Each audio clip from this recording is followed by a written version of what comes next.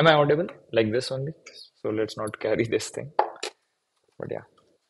So yeah, if you want Wi-Fi password, it is here. Uh, yeah, it's you can scan that code as well. That also works. But yeah, uh, so we'll start from the very basics, and we'll go over uh, building an app from scratch. And then on day three, we will deploy, and we'll also see what all other apps are available for um, us to directly use, right? Like Frappe Builder, Frappe Insights. We'll explore those as well. And yeah, so what is Frappe framework? That's the bigger question now. Uh, Frappe framework. So my definition of Frappe framework is, is a hybrid full stack web development framework, right? So Frappe framework. So the name Frappe is the name of our company, and we built 100% open source world class software. So you can get the slides on this URL, and there is a Frappe Cloud sign up. So if you don't have a local setup, if you want to just try out, then that's the link. Um, so about me, uh, as I said, I'm Mohammad Hussain Nagaria. I have this small YouTube channel that I run, uh, where I build something live using Frappe framework every week. Uh, check that out. Yeah. So Frappe framework, right? Frappe framework is uh, the power behind ERP Next, right? Uh, that you might that you all used at least once in your sentence that we ERP Next, right? So ERP Next is built on top of this framework, and now we are building more products as well. And this is MIT license. So anybody can use this as a web development framework to build world-class web apps, right? In record time. Uh, so as you can see, it is like 97.42% of your time, which is CRUD basically, can be saved if you use Frappe framework, right? So what's possible with Frappe framework? So Frappe framework has been used to build ERP Next, which is like the best open source ERP on the planet and enough marketing of ERP next now. So then there is Frappe HR game plan, right? The new products, Frappe Insights, LMS. Uh, LMS is what runs the Frappe school, right? If you registered there and you use the course platform ever, that is built on top of Frappe as well. Even the cloud, right? The Frappe cloud, it was also built on top of Frappe framework and it is also open source. So you can build anything from a simple app for communication to a cloud platform using Frappe framework. So there is no limit in that, right? So what do I mean by hybrid, right? I have used this word hybrid. So you might have heard of typical frameworks like Django or Laravel with PHP or Node.js with Express, right? These are typical web development frameworks which you will find like a lot of YouTube videos, a lot of stuff on them. So Django, for example, is a Python framework. Then Node.js is basically a JavaScript framework. So these are typical. Okay, you define a class it will give you a database table on the back, right?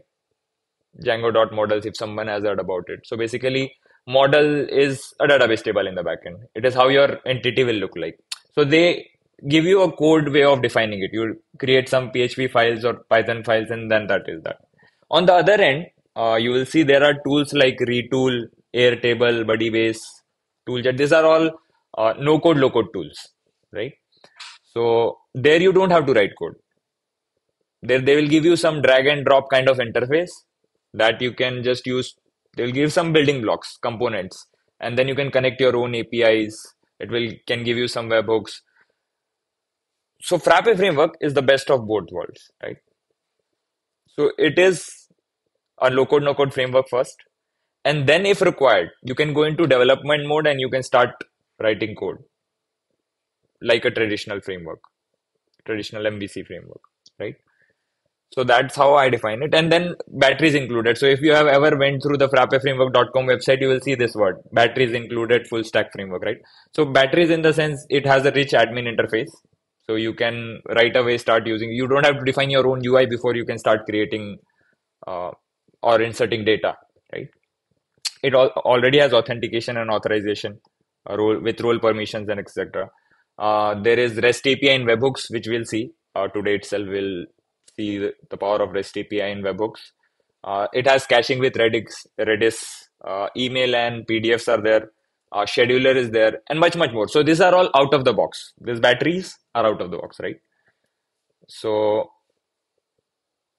everything in Frappe revolves around this name called doc type, right? It's short for document type. And doc type in Frappe is like doc type, everything is a doc type in Frappe, right? So what is doc type? So doc type, uh, think about it. Uh, so there are database models, right? So suppose sales invoice is a model and then there is a database table for it, sales invoice.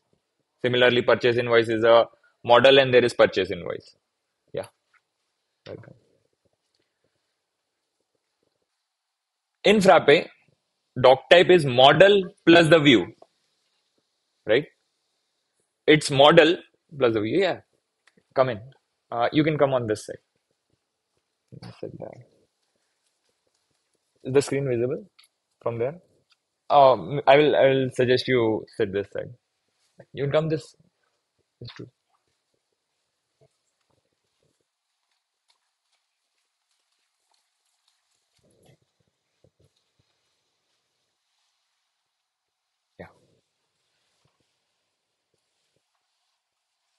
So as well, I was I was saying the doc type is model plus the view, right?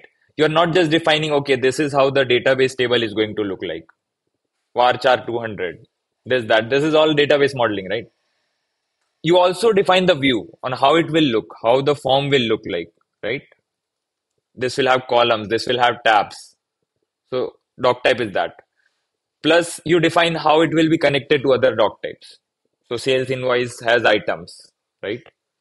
Then sales invoice is connected to a particular customer. I'm taking ERP next example because uh, of what I can gauge, you all are somewhat familiar with ERP next, right? Uh, so you can define the relationships one to many, one to one, right? Um, and then there are more advanced features as well, like web views. Suppose you have an item master, right, in your system, and you want to build an e-commerce site, right? In that case, you will want to show that as a web view in the portal. We'll do that, or maybe tomorrow. And it is very easy to do that. That is also configurable along with the doc type, the web view. And then this is all we call metadata, right? So it is not the actual data, but the metadata, right? How will this look like? Will this field be mandatory? Will this field be read only? That sort of stuff is called metadata, right? And there are extension features. So once you have a doc type going, you can use these extension features like web form, uh, webhooks. You can build reports. You can write scripts, notifications, right? These are all low code, no code things. Once you have the doc type, you can then use these features to even extend those or enhance those. Okay. So the desk, right? Uh, the desk, we call it, uh, this is an admin interface basically, right? This is where, um, so there are two views in Frappe, right? One is this admin interface where you see this uh, nice nav bar and then there is the form view sidebar. We'll explore this. But the other is the website view, which the normal user sees, right? Here it is the desk user, uh, employees, like all of your internal company people, right? And then you might have some external website users. They see the portal side of things. So just terminology, portal is the one which is on the actual website, which they access. And the other big piece is this desk, which is the admin interface where you perform CRUD, you have the form view, list view, everything, right? So these are the two core pieces of UI. Uh, and so yeah, this is Irfan. And let's talk about him. So basically in these three days, uh, we are going to solve a problem for Irfan. So he has a company called Irfan Caps, obviously. And he has some luxury cars, right? Uh, he has BMW, Mercedes, etc., etc., and then he has a set of drivers. So what happens is um, he has marketed his phone number everywhere that we give you luxury vehicles for booking, right? And he gets a call. Uh, they ask, he asks them that, okay, what is the vehicle do you want? Like, do you want a Mercedes or a BMW or anything like that? And what is the pickup point, right? And I'll he just assigns a driver and sends that vehicle, and he maybe charge, charges per hour, then he gets paid. And right now, this business is run by spreadsheets, right? So when you see spreadsheets, you're like, okay, you have some work to do. So you can see this particular sheet is about vehicles. So he's keeping track of how many vehicles are does he have, what's the status of those vehicles, whether they are in service or not, right? And then he also has uh, one other sheet for drivers. He tracks what drivers do I have, and then yet another sheet for tracking bookings, right? And then he uses those to do some charting, etc. But everything is in Excel sheets. He is fed up now, so he has come to us to build a custom Frappe app to solve this. Ready? So we'll build apps now. Mm. So before that, mm, let me start the bench. So you can follow along, by the way. Uh, I would recommend you follow along because if you face any issues in between, we will be able to debug out.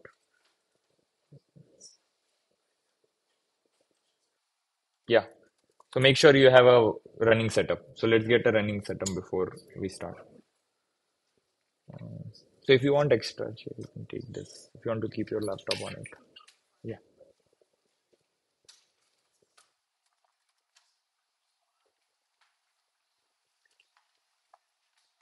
Yeah, before we start. Like,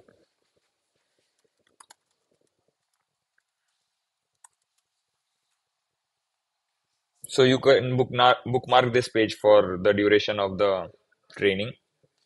So if you still need a local setup, I would recommend this cloud setup from GitHub. Uh, it will give you a quick setup without like in a single click. This is uh, I've sent you an email manual.buildwithhussain.dev manual uh, Hussain. Either you can directly search build with Hussain in Google. There is a link to manual as well or manual. Then it will give you two options. So this was the code spaces one where you just go in a GitHub repository and just in this click, it will bring up the whole Frappeka cluster, right? It will give you the um, app and database. I have this one. Come on in, right? Uh, do you have this setup?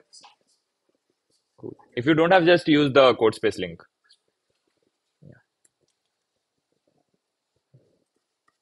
Uh, then the second option is a fairly new one. So these two options are apart from the regular bench setup option that we have in frappeframework.com. So you just install Docker and then you install this. Uh, where is it? Uh, Frappe Manager. Yeah. Wi-Fi. Yeah. You can scan this, or you. So yeah, what Frappe Manager will give you is a CLI where you can directly say FM create. Uh, you can tell what apps do you want and the site name, and it will create the site. This is based on Docker, so it doesn't need any other dependencies other than Docker itself. Yeah. Right? New thing, right? Yeah.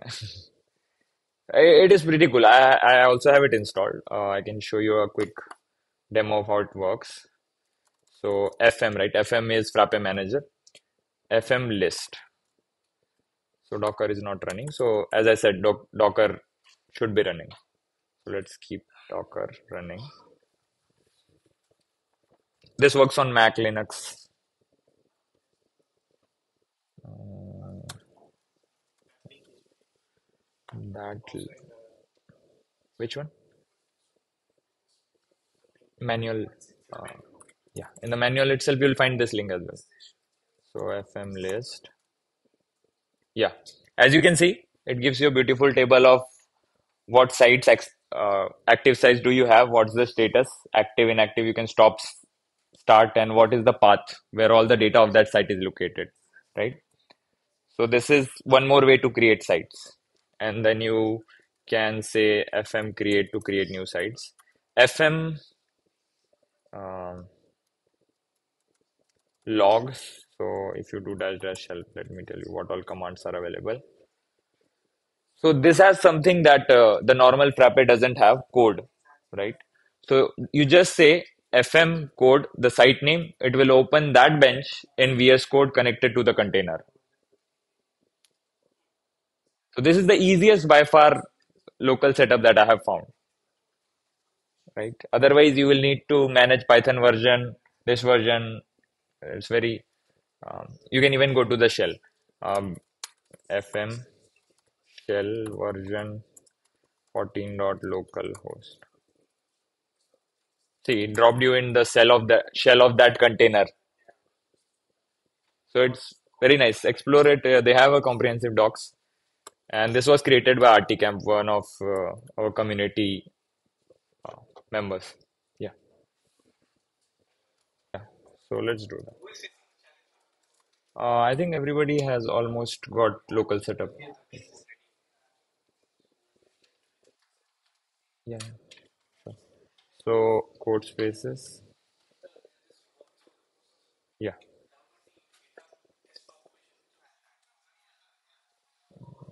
So works. So the main step is this one. Uh, you visit this repository, right?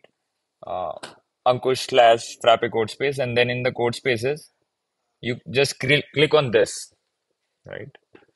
So once we click on this, this should, yeah, this will automatic.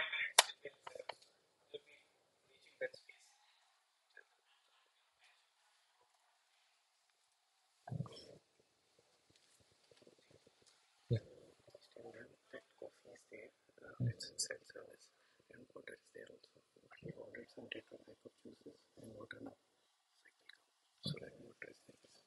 I'll inform. So yeah, coffee and water is like self-service available here.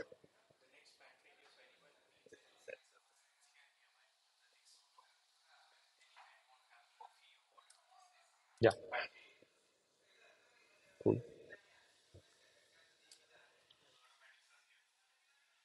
And this is just automatic. This will bring up the VS Code in the browser itself. Um, so if anybody faces any issue with the local setup, just uh, do this one. And then later you can set up the proper local environment.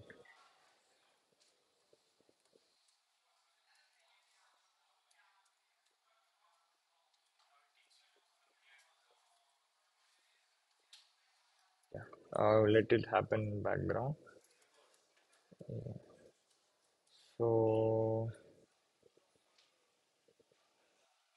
and all the assignments, right? Um, so as we go, like each day there is a separate assignment. So day one is the assignment you need to do after today's session. Uh, I'll share the link. It is all in the manual. Also, the submission link is also there. How you have to submit everything is described here. So if you open day one, you will see what you have to do, right? You have to create some doc type. There are also some extra additional videos on top of that that you can watch to learn more. And then here in the submission area, it will tell you what files you have to submit, and then you can submit, and it will auto grade. It will automatically give you the results or tell you why it failed, right? Uh, all three days that will happen, but after three days, right, uh, the final assignment will be there, which is a requirement if you want to get certified.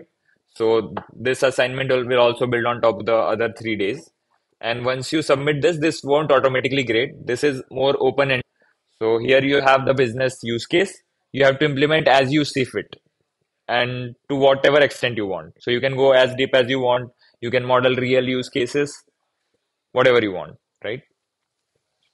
There are some pointers to help you out on what to implement, and you can submit that. And then once you feel ready, you can go to Frappe School. Uh, in the batches, you will see this particular batch in the list, and inside that, you will see a evaluation, schedule evaluation button. And then you can choose a slot and schedule evaluation. So you have uh, all the whatever I said about the evaluations, it is available in the manual. So you can read more how the evaluation will be when you have to apply for evaluations.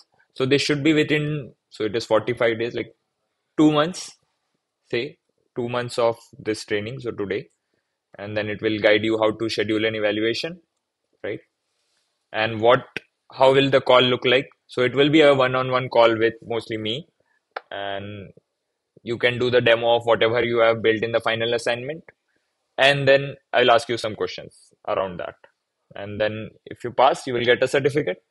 Otherwise, you can have a round two where you can re-prepare and apply. Any questions on uh, assign, uh, assignments and evaluations? Yeah. Uh, okay, let me do, one- uh, do one thing. I can just do this. Yeah, I need to have a link shortener now. For this, it is uh,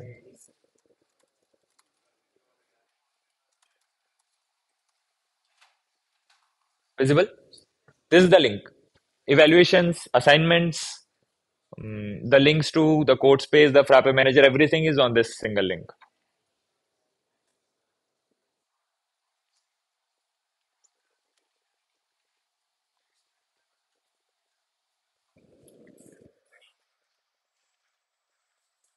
Cool. Should we start? Everybody has the setup now? Yeah, it's fine. We, we are just doing an uh, introduction of the site. Till then, you can get the site up and running. Okay.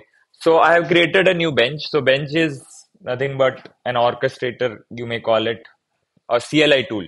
It is a CLI tool which will help you create and manage apps and sites, right? And we'll discuss more. We'll dig deeper into the bench.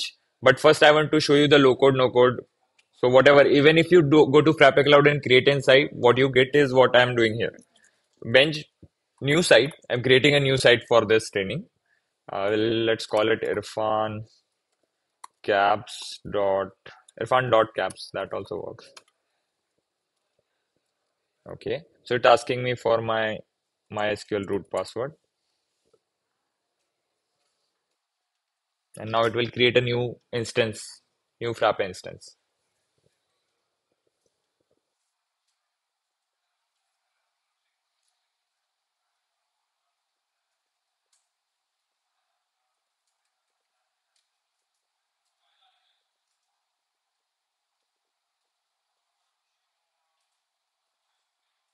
Okay. So it is asking me to set up a administrator password, right? So this is the password for the super user, you may call it, administrator of the site, whatever we, site we are creating. So you will see where it is used. Admin, admin. And don't worry about this scheduler is disabled as of now. We will discuss more. But yeah, now the site is created. So how do I access it, right? So if you see, if you want to confirm the site was created or not, so you can do ls. So I have a lot of sites, but uh, the one we created now is irfan.caps, right? So how do I access this, right? So if you started bench, right? Let's stop and start bench again. You will see, uh, observe this part, web running on 127.0.0 port 8000 right? So by default bench will try to run on 8000 if 8000 is not available if you have multiple benches it goes 8001 8002 like that right? So make sure you are using this. And this is the ip address of the local machine local host. So let's try visiting this now.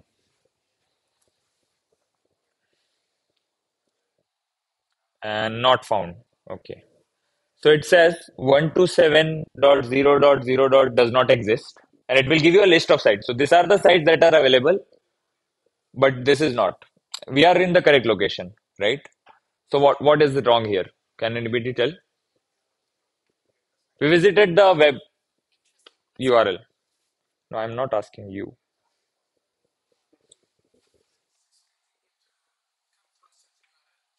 Yeah, it, it gives you suggestions like these are the URL you can use, but you're directly visiting this. Current site you have to set. So here comes the problem. So some people will be able to access this at this URL. if they only have one site and that is the current site. That's why I said there are two ways to run bench. One is multi-tenant mode, which means n number of sites in a single bench. One is the single tenant mode, one site accessible at one time. You can create multiple, but only one will be accessible, right? That is the single tenant mode. And generally, I don't suggest don't run in single tenant mode. So the code space one that has a limitation that will only run in single tenant mode because it has one URL. You can't change the URL of the code space. But in local, you can have as many URLs as you want. You can map them to the same IP, but the URL will be different. So based on the domain, bench will try to map. So it is showing you these options are available. Which one do you want me to go with site, right? So if you want still want to use the IP one, suppose you have a remote server and you want to use its IP, you can't have uh, the site name. Then you have to use this bench use command. Again, not recommended. It messes some of the features like of the bench. It tries to meddle with them. Bench use and then the site name. What was the site name? Irfan.caps. See, current site set to Irfan caps. So now if you even try to visit it, uh, let's go back. Let's reload. Still the same. Okay, so maybe we might have to restart bench. Let's try that. I'm restarting bench. Go back, reload. See,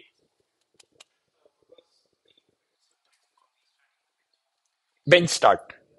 So I, I stopped manually and started. In production setup, right, you can just run bench restart because in the background it will make sure it stops and starts the yeah yeah, yeah.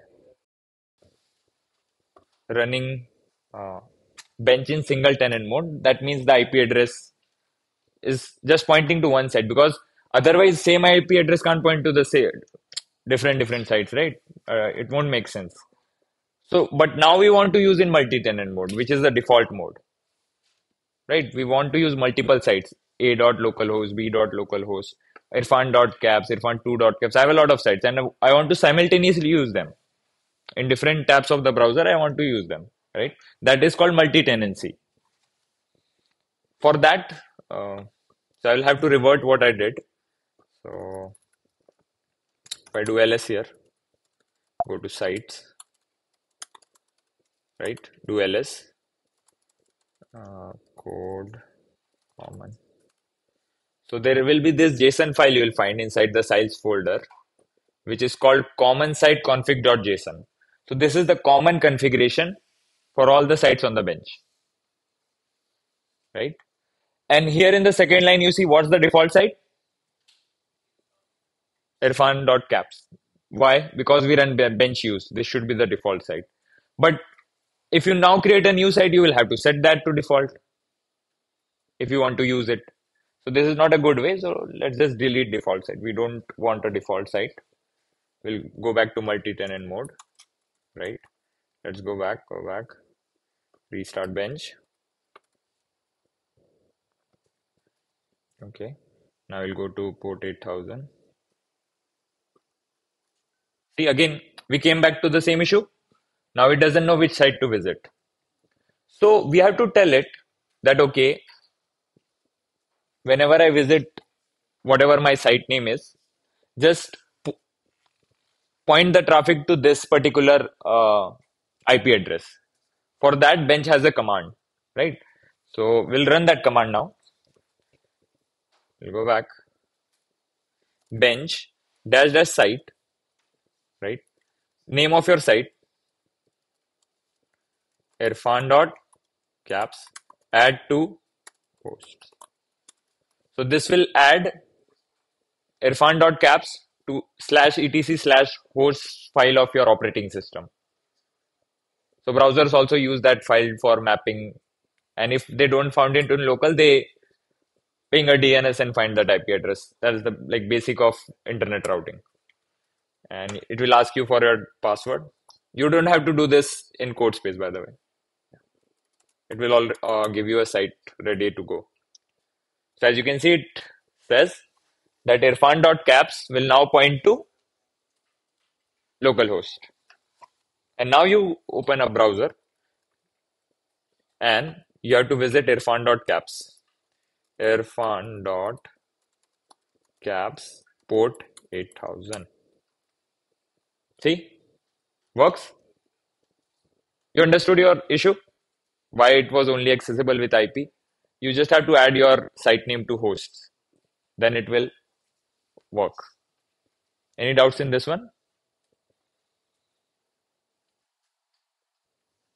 So yeah, so as soon as you open up the site, you will see this login screen, which is part of the desk. And the user we created, the user password we gave was is the password we have to use here. If you are in CodeSpace, it is ADMIN, all small. So the username is administrator. So let's zoom administrator and ADMIN admin. Login. Let's see the password. And this is the setup wizard. So this is only visible the first time you open a newly created site. So this is, has to be only done once and then it won't show up. So you can set your language or uh, try to guess my country. So let's keep it AD um, and complete setup. So administrator, right? It is the first user and the only user that is created for you, right? You can create more users, we'll see. But that has all the permission powers, everything. The administrator can do everything. So usually you don't share this login with anyone. It's for uh, result purposes like running a debugger or recorder. We have a recorder that requires administrator access. Okay. So now we are in the bench. So I will give you a brief overview of what consists of the desk. I said bench, right? Desk. The desk. Uh, here we have the sidebar, right? You will see like users is active the link users uh, this is the workspace area this can be different. So depending on on which workspace you are so if i am in the tools see this area is different right? So this is the workspace. And here you have the navbar so the most important part of the navbar is this right? This part. Uh, this is the awesome bar. This is bell icon means notifications. So whatever system no notifications you get will be visible here. And then there are some options here. So the bell icon, as you can see, we don't have any notifications. So if there are notifications, the user will be able to see here. So, so examples of some notification as someone mentioned in your comment, right? Someone assigned you a particular document. We'll see what assignments are. But yeah, those kind of notifications will be available here and then we have help so in help you have three options. So about.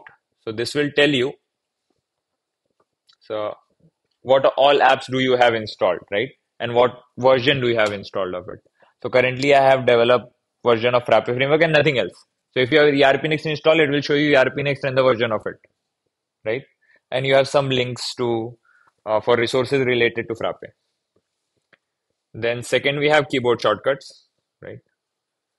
So command S, trigger primary action. So in form view, it will be save, right? And awesome bar we'll discuss. Then there are some settings, alt S to open settings. So I'll tell you two important that you need to remember. One is the save control S that is like by default of any kind of editing application. And then there is one in the form view I think that is suppose I see this. Wait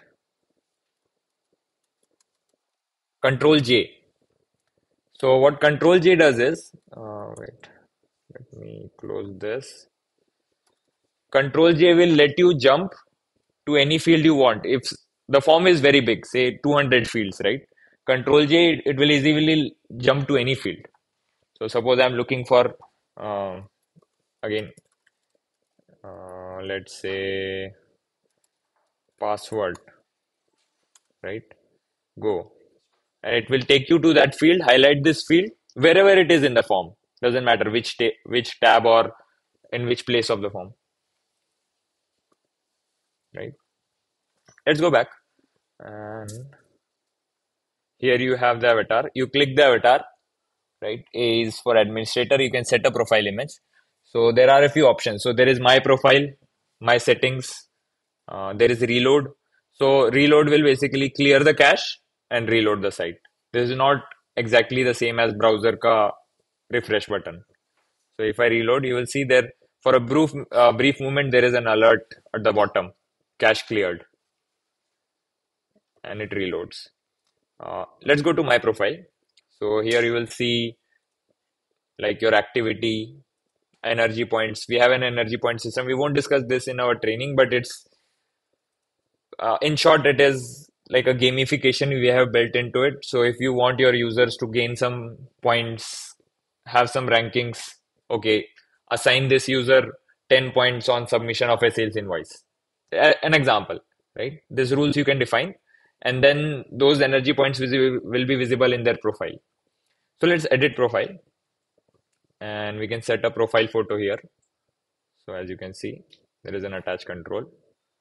And let's pick an image from somewhere. I don't know what image do I have. What is this?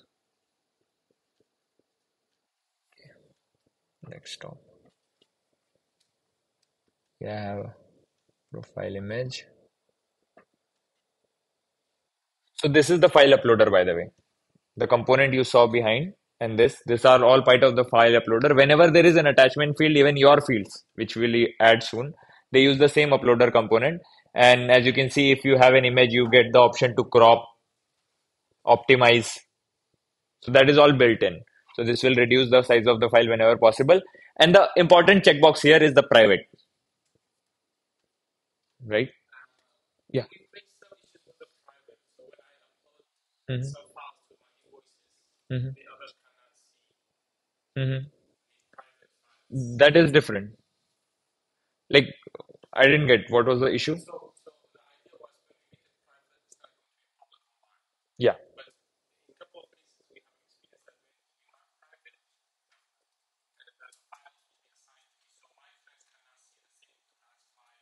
hmm maybe no in framework level it is not there Maybe ERPNext has an added layer of security for attachment files. Probably. There might be user level permission. Not part of framework, like part of framework, but you have to separately define it. It is not enabled by default. So that so currently what it means is when you check the private, it will be only accessible, this file will be only accessible to the logged in users, those who have authorization to access it, right? If you do it public, which means you don't check this checkbox, right? And upload it. Anybody with the link will be able to access it. This is just like uh, Google Docs you have, right? Anybody with the link, anyone with the link. This is the same concept. So now as you can see, the image got updated here, but it didn't got updated here. So this is a cache. So I'll just reload. Cache is cleared and now we have the image available right? So this is how you can set uh, you have some more.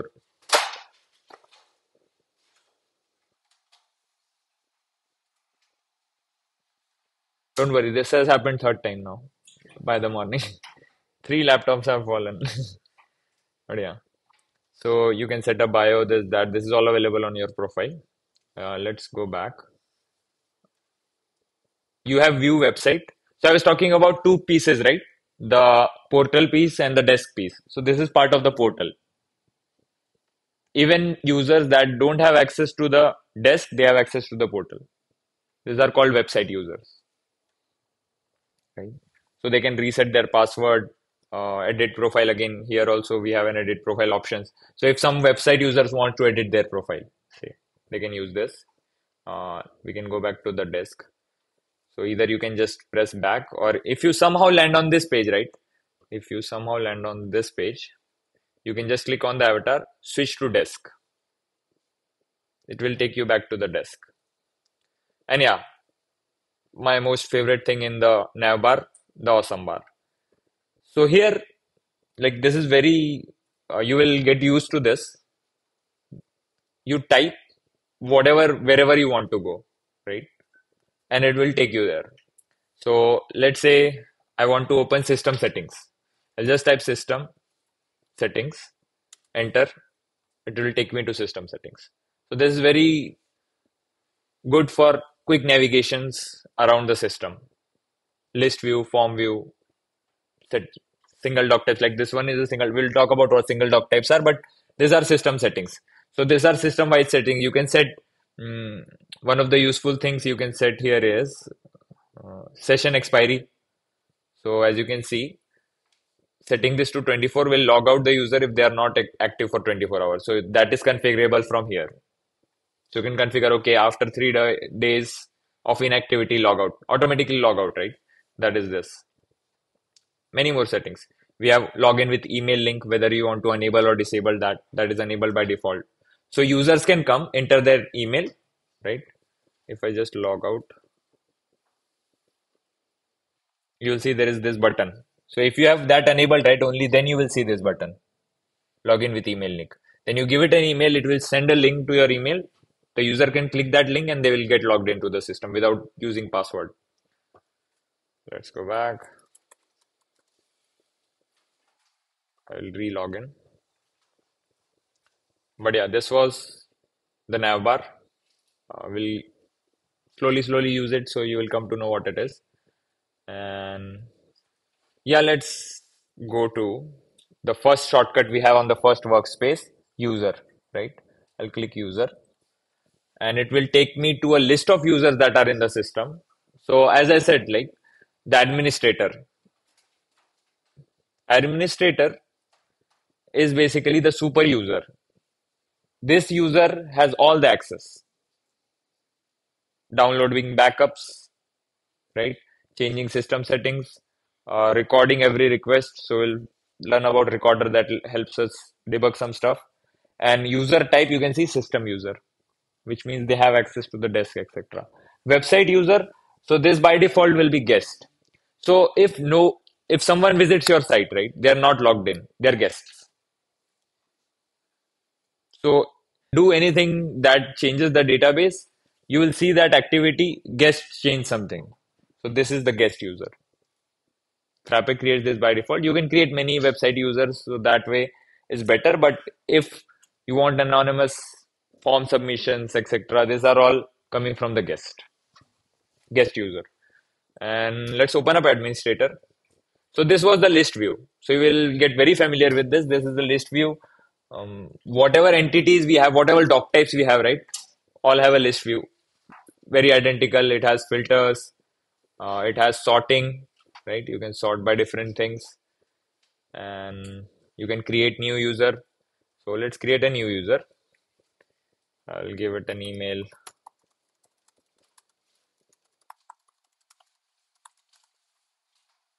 Save.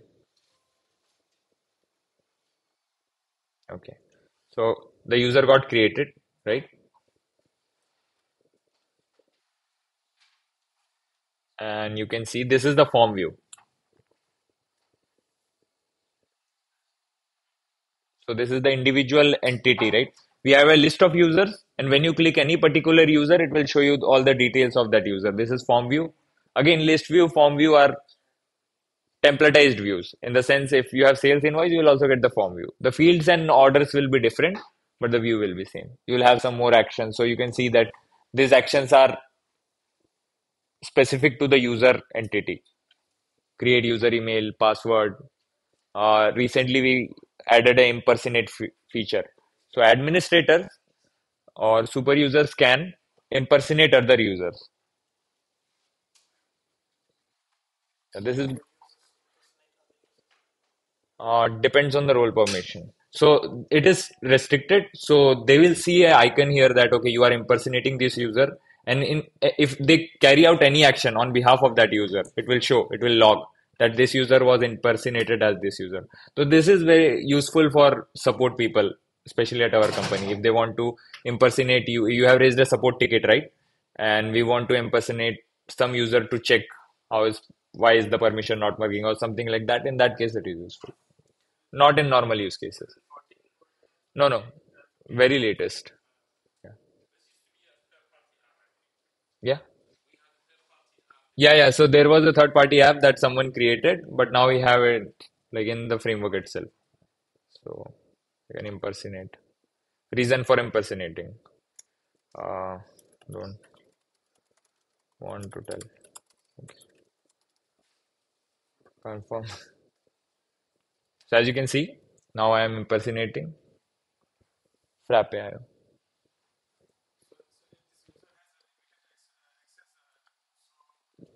So since you are impersonating this user, you will have like identical to them, as if you are logged in as them. Yeah. This can be useful if you are implementing in like hundreds of employees and you are a support person, say, right? Usually IT people are the one doing support. So you get a call, okay, my sales invoice is not accessible. Then you can just, okay, impersonate this user, what is happening? Let me see as if what he is seeing in his system. This is very recent, week ago. This feature was like added a week ago. Good morning. Yeah. Yeah. Good morning. No, no, no issues. Come, come on.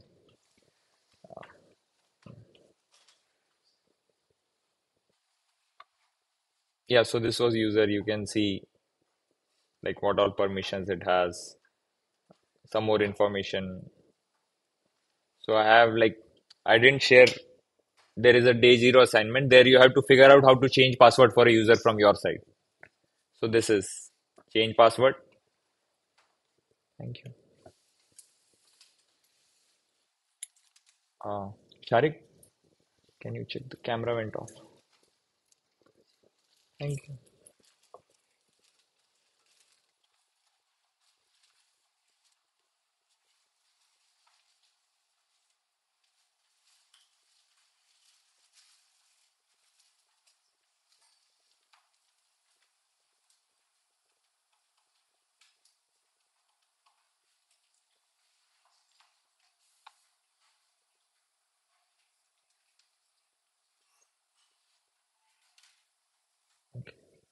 I don't know why it went off.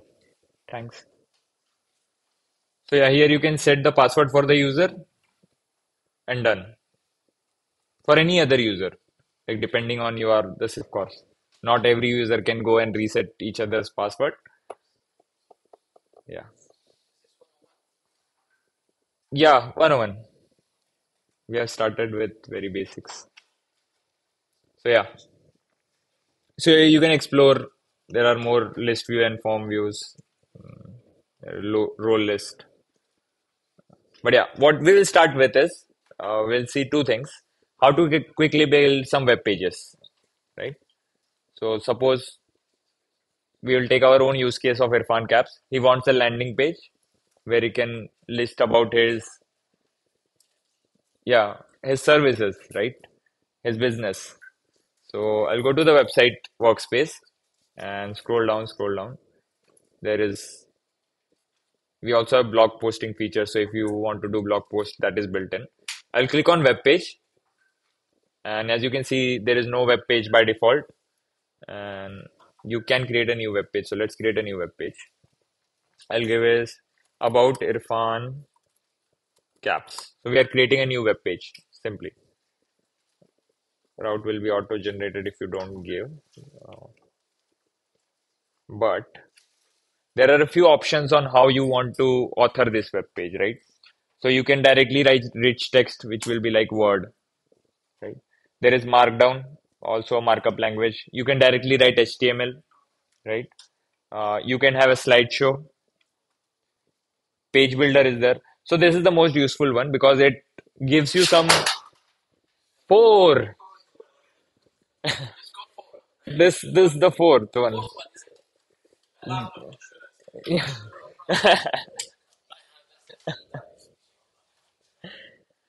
So there is an UX issue with this thing. Yeah. UI is nice, but UX is not.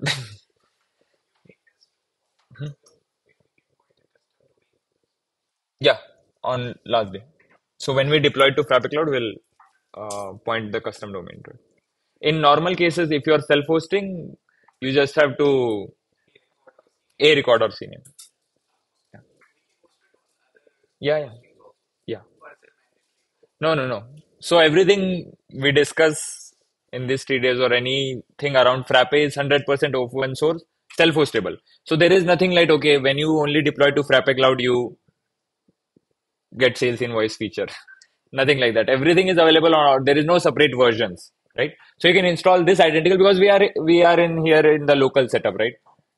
So anybody can have a local setup or you can deploy this to production as well. Same thing. No restrictions anywhere. Cool. So page builder gives you some blocks. See? So suppose in my page, I want a hero image.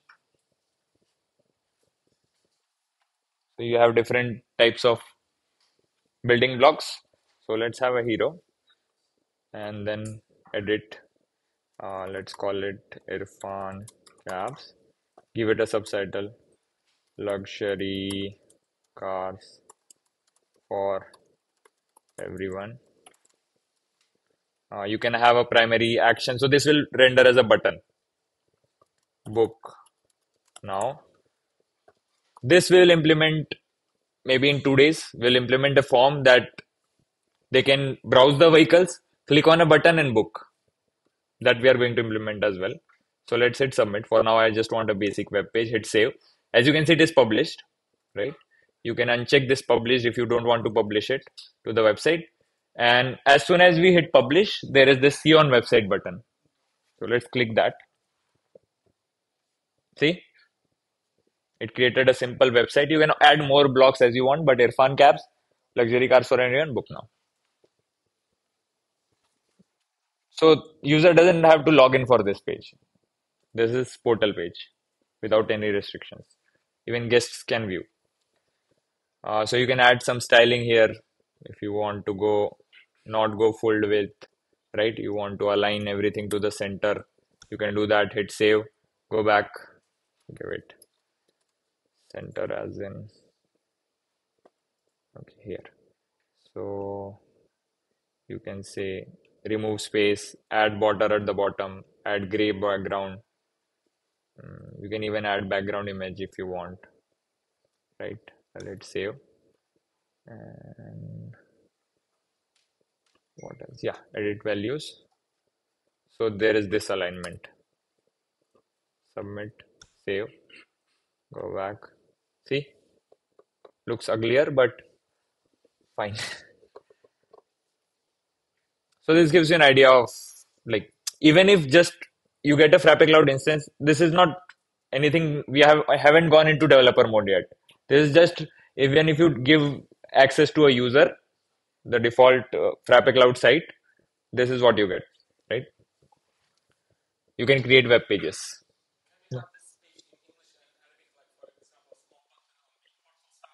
Mhm. Uh, you can, you'll need some scripting here for implementing that button. We don't have uh, multi, what do you say, multi-language built in. Hmm. For desk, it is there. For desk, you can go to system settings and switch your language. Yeah. Those translations are there, contributed by community, uh, German, French, lot of languages are there. So the whole UI changes to that language.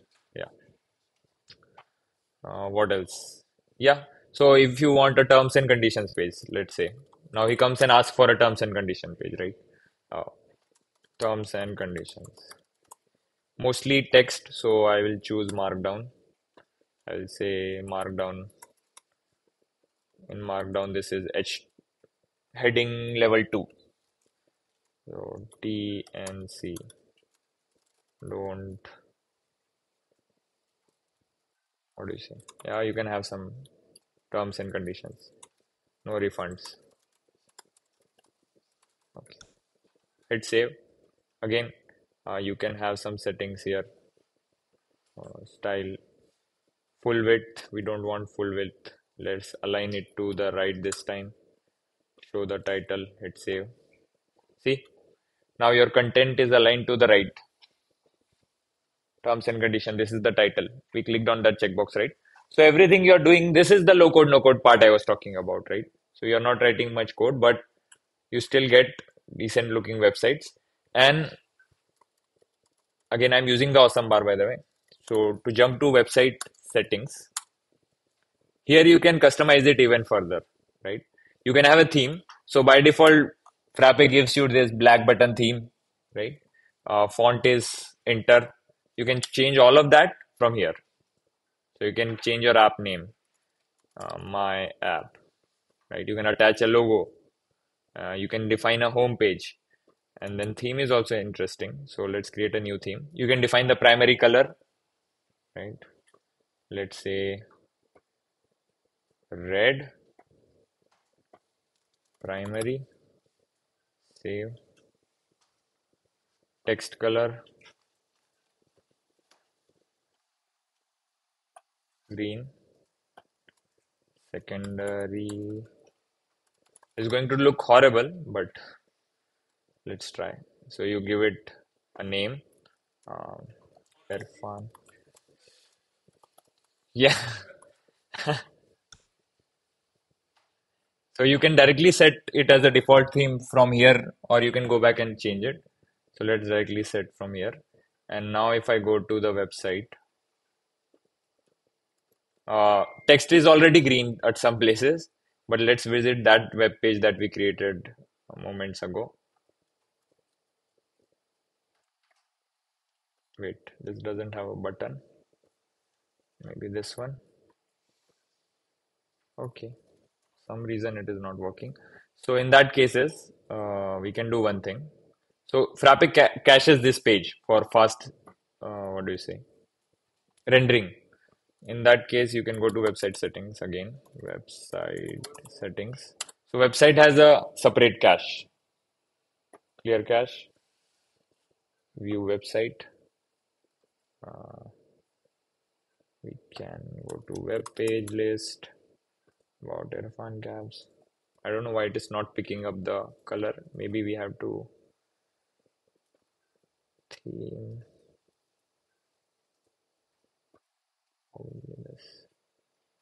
Let's make everything red. Secondary button shadows, button gradients, Poppins change the font as well right? So let's try everything now it should work. Uh,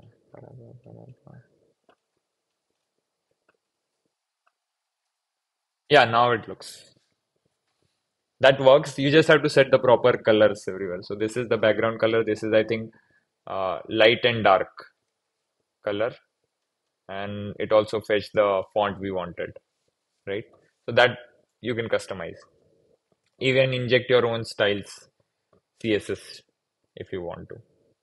And there is yeah. So you have to inspect and check what elements are being rendered there is a better way to build websites now in frappe we'll discuss that uh, on day 3 using frappe builder yeah you can like it gives you like a visual building uh, experience. Yeah, so maybe I will show it right now because we have the context. So I'll open up our website.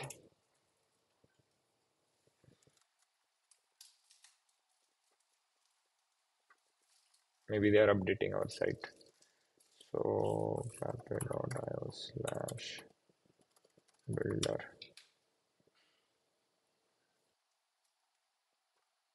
Yeah, probably they're updating the site. So let's wait for five minutes. But what that will do is uh, Frappe Builder, if you search,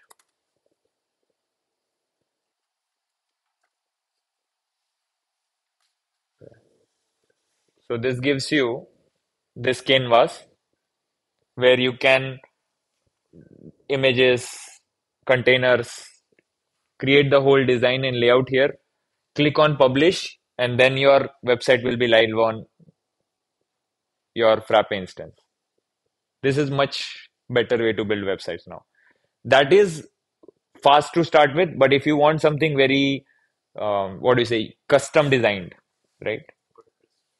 Yeah, WordPress, kind of WordPress. So you can do that, and he, he it this also has scripting. So it is built on top of framework, so it has some features like if you want to pull items from your database and render them dynamically here, possible. So visit this page. Uh, we did also did a live stream, so there is a two-hour live stream. So if you want to build websites, this is the way to go in Frappe now. But I, yeah, you can embed your scripts.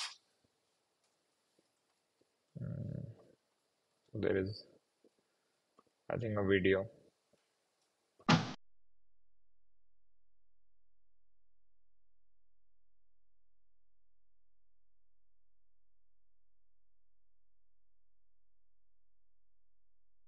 Gives you a glimpse of how you go about it. Yeah.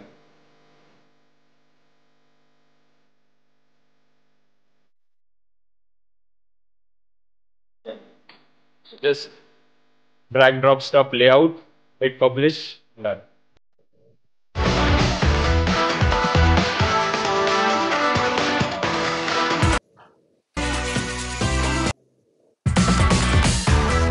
Right? This was Frappe Builder. Mm, yeah. So you can start with the basic web page doc type, and then if you want custom design stuff, easily you can install Builder. Is one of the apps. Done. Cool. So let's start solving Irfan's problems. One of the problem is solved. Now he has a website, although ugly looking, but fine. So the second step is to move away from the Excel sheets. Remember he has Excel sheets. Where is this? Yeah, there's Excel sheets. There is one for the vehicle, one for the driver. Uh, there is a slip, the Wi-Fi slip. Can you pass that? Yeah. So now think about it. Uh, given his business, what will be the entities, primary entities in that business? What what data you want to capture? What do you want to keep track of? Drivers, vehicles, which means the cars itself. What else? Customers. What else? Probably if we want to go to that extent, yeah. Bookings. Bookings come even come before expenses. So that's how we will make profit, right? Uh, yeah, bookings and then maybe even capture rides get completed, payouts to the drivers, how much he's paying out, that. So all those entities, we have to create doc types for them. So doc type. Now, by now you have realized that doc type is the entity plus how it looks. So let's start with the very first one. So first we'll create, let's start with, so you can go to build in the workspace or you can directly search for doc type from here. Either there is this shortcut or directly search doc type list and you will see there are already 257 doc types. See, uh, they keep going up and down, but usually this is uh, frameworks bringing. So framework brings its own doc type. So as I said, right, everything is a doc type. Even doc type is a doc type. You will find a meme somewhere around in internet about this. so doc type is a doc type. That's. But yeah, so now we want to build our own custom doc types. There is a to do doc type, right? That you can see. Okay, how does it look, right? Here is the form. You can change it, but let's create a new one. So first and foremost thing you need is a name for this doc type, right? Sales invoice that is the name of that doc type purchase invoice that is the name of that doc type customer right? These are the name of the entities or doc types. We call them in frappe. In frappe we call them doc types. So uh, driver right? Let's start with the driver.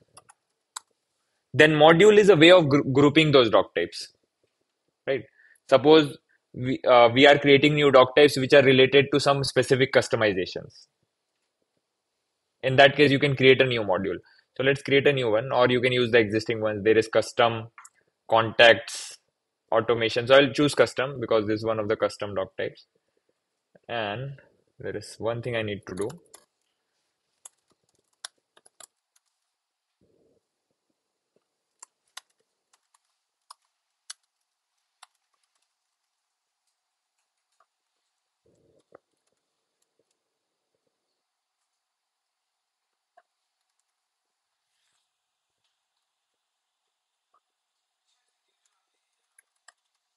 yeah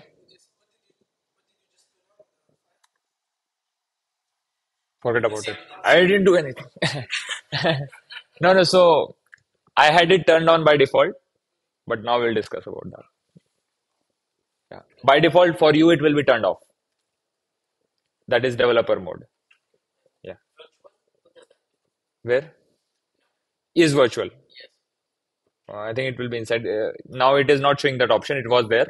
It went away. We'll discuss virtual doc types. So virtual doc types are like the name suggests they're virtual. They don't create any database table in the backend. You have to tell it where to fetch the data from.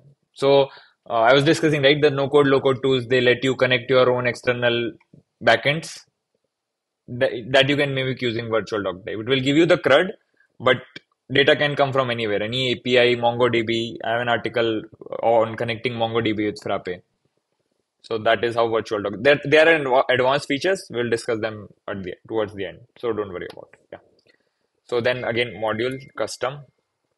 Remember this checkbox. Like we'll come back to this, but this is disabled, right? So you can't opt out of it. The whatever doc type you are creating is going to be custom. Let's create and continue. So as you can see, it is empty form. So this is the form builder built by our very own Shariq. Uh, he has built this, uh, I think version 15, right? Version 15, starting version 15. If you have version 14, you won't see this. Uh, you will see a table uh, where you have to manually add those. But this is more visual way of doing it. So here you can build how will the form look and what all fields will it have, right? So what all the driver can have name, first name, last name. Let's start with first name, last name. So I, I clicked on add section, then add field. What type of field do you want, right? What what will be the name? So the first name, text. It will be text. So if you were to do in a traditional framework, varchar 255 or something like that, you might define that, right? But here you have a list of different types of fields available. You will see there is an attach, which will let you attach, like let the user attach a file, uh, attach image, which is more specific. It will only let them attach a image file. There is barcode, button, checkbox. So if you see checkbox, right? Uh, maybe let's say enabled, right? Then the most common one is data. So it has a limit of 200 characters. So if you think that, okay, there is some text that I want to capture and at max it will be around 200 characters, then this is the way to go. First name, last name, etc. This all come under this category. So let's say first name, all I'm building visually. And then again, one more data, last name. And if you see closely on this side, there is this button, right? Uh, it shows a title very small. I don't know if it is able or not. Move the current field and the following to the next column. Done. So it moves them here. And you can keep on adding as many fields as you want. So what else do we need for the driver? Let's check the Excel sheet.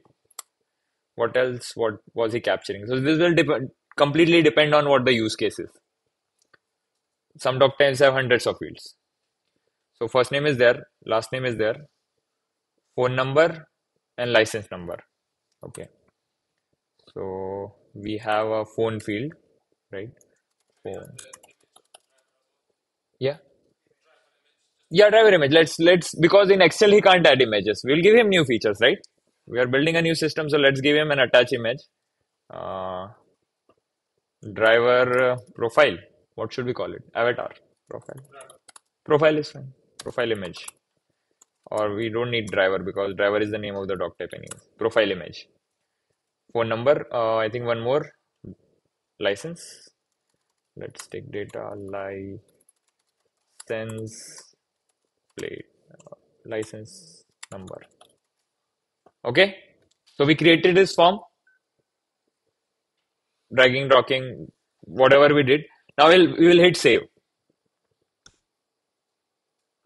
see I clicked save. The doc type got created and now I can go to driver list. Empty right? By default there is no driver in the system. It created the database table. It went and done some stuff behind the scenes that we, we will see. We'll peek behind the scenes what happened. But now you can start performing CRUD operations. You can create read update delete drivers. So let's create our first driver. Uh, enabled. Let's call him John. License something something. Last name no. Phone number uh, this phone number field gives you the country code input as well. So let's say UAE United Arab Emirates some number hit save. Uh, phone number is not valid. As you can see this comes out of the box with the phone field. I don't remember. What is the number of 1 2 3 4 5 6 7 8 9 10 10 in the way. Okay wait.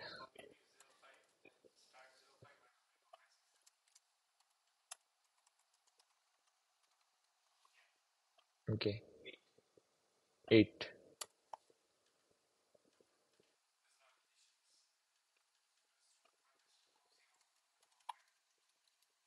it's better to go with what I'm on. yeah works. Uh, so it does more than just counting digits I guess probably.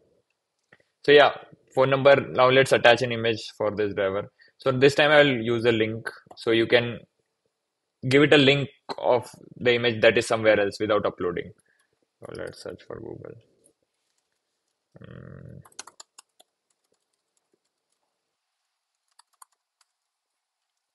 uh, this box copy link address go back paste it upload. Okay wait. Doesn't work. Anything else? Ah yeah that. Yeah. This will work. Hopefully. We can. But I'm doing just one other way of linking images. Now if you hover over it see? This is the image. Yeah. No no it's just the link. See CDN so you will see this in att attachments as well. But if you visit here right you will see the file URL is actually it is not storing it in the local. And compare this to the file that we uploaded right? It is a relative path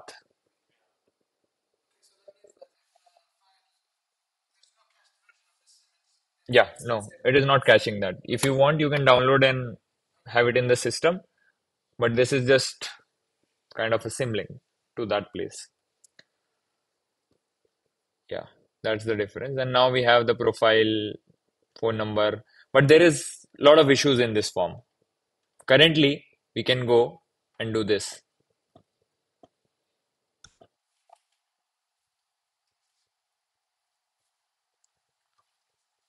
useless. What's what's this record used for? There is no data. We didn't enter any data. We have to do something about it right? So users don't create these empty records. Yeah. So let's go back. Here is where the thing i was talking about metadata right? So here you click and on the right hand side you will see there is this properties panel. So whatever field you selected right all the properties related to that so let's just scroll down and see what is available. You will see the type is data because we chose it to be the label. Uh, there is the name. So this name is how it will be referred in the backend. When we start writing code or in the database, this is the name that will be used. Then you can say to make it mandatory, right? Let's also make the license number mandatory.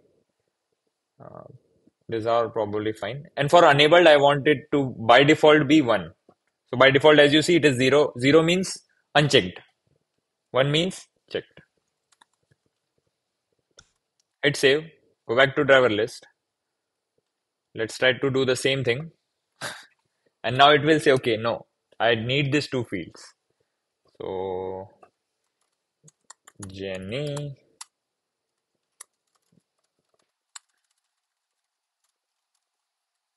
save. Nice. So now it will show you this red uh, star symbol for mandatory. And if they don't fill, it will show a message, okay, these fields are mandatory.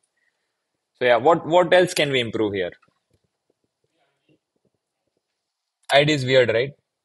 So ID is the name. Uh, it is called the name in the backend. You will see it as a name field. And that is randomly generated by Frappe. So this is the primary key, uniquely identifying a particular record, a particular driver, right? But you can control that too. We wanted someone serial, right?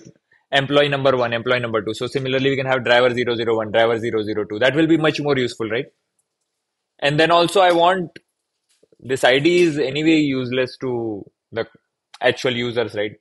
So maybe that can be the last column, but first name can be the first column.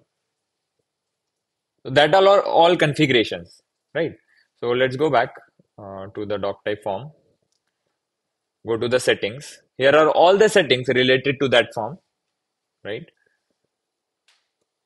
As you can see, you have this uh, scroll down, scroll down, naming section,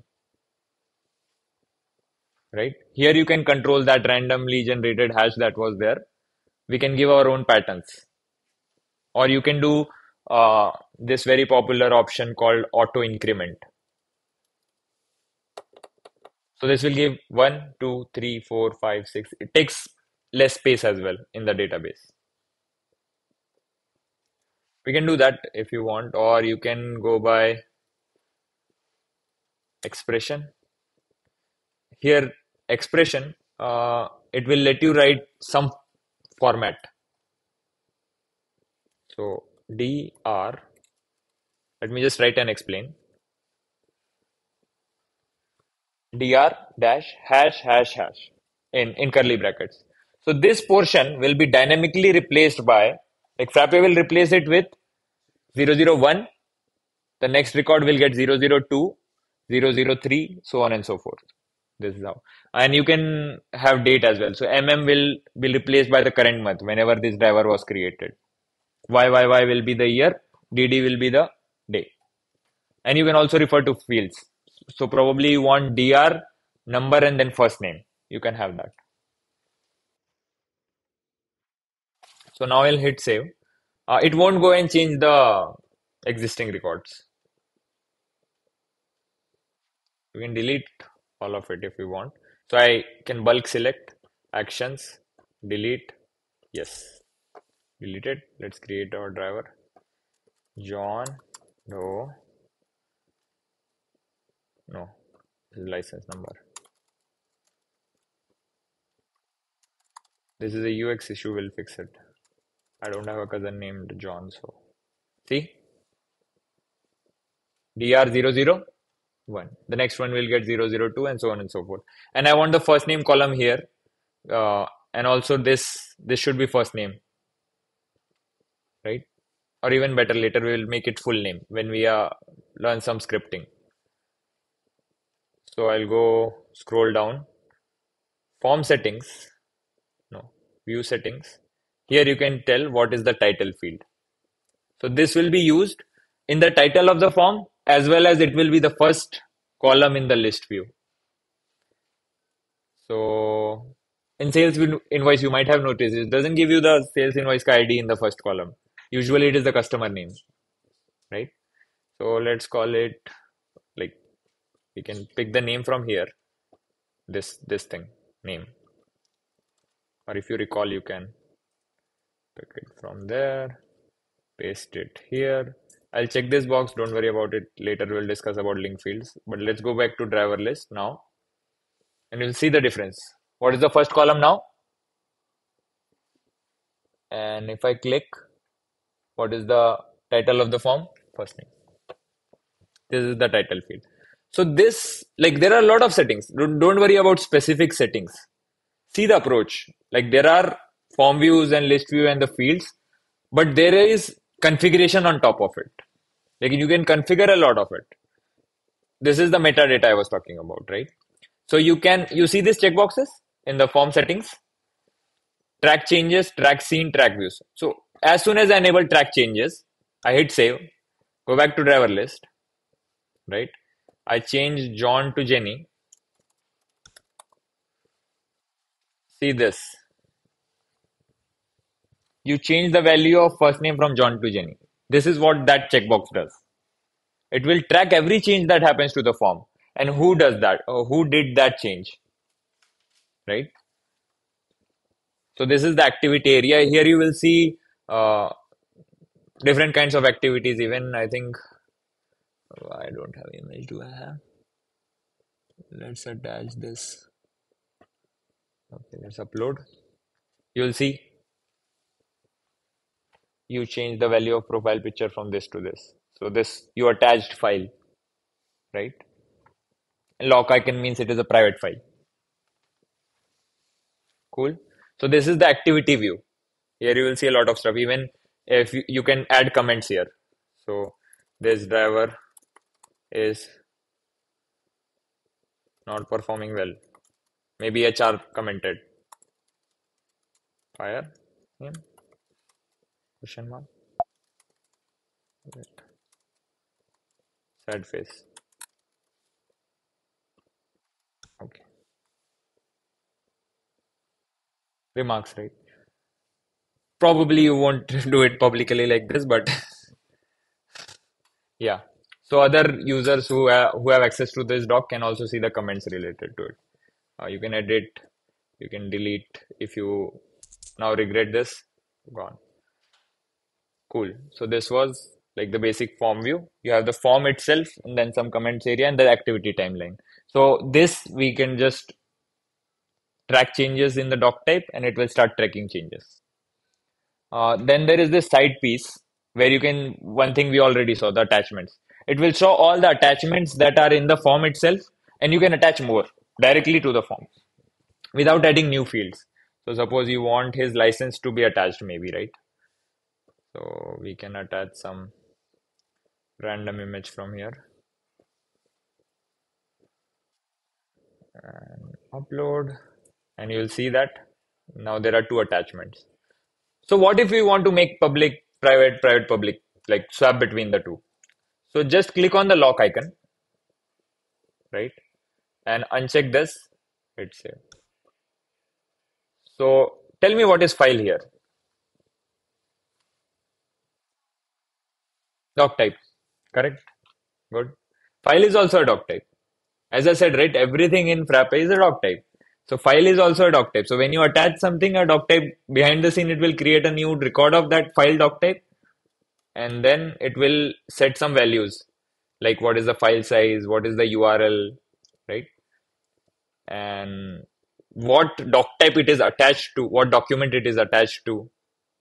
See, it is attached to driver one,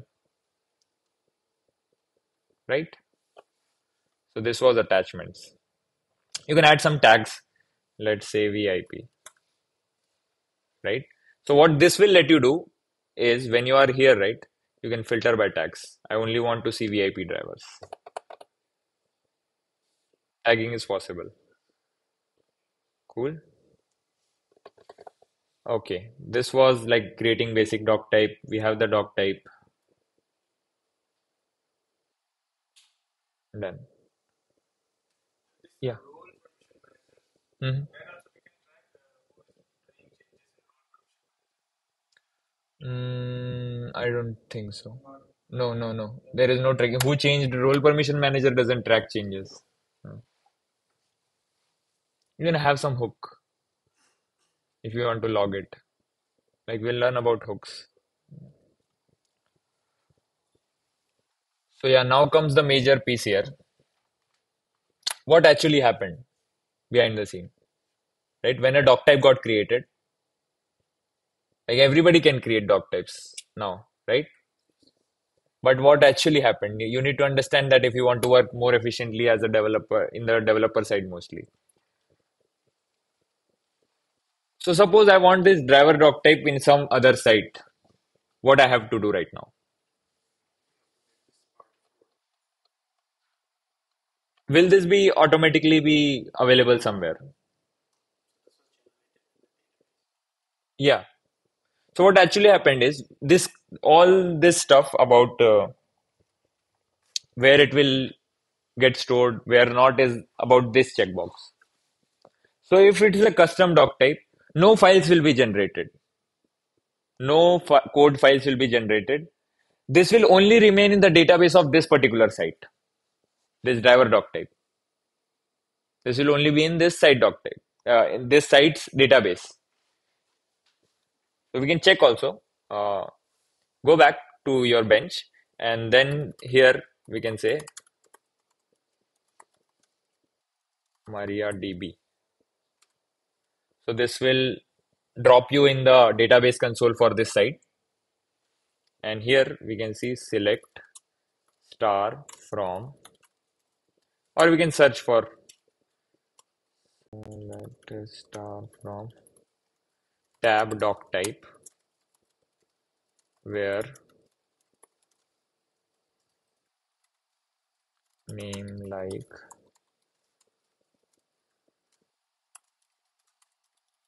I want to see this. Okay, empty set. Wow. Maybe doc type name. Whatever.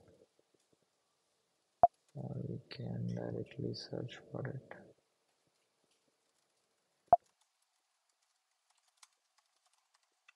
Okay. So what did I do?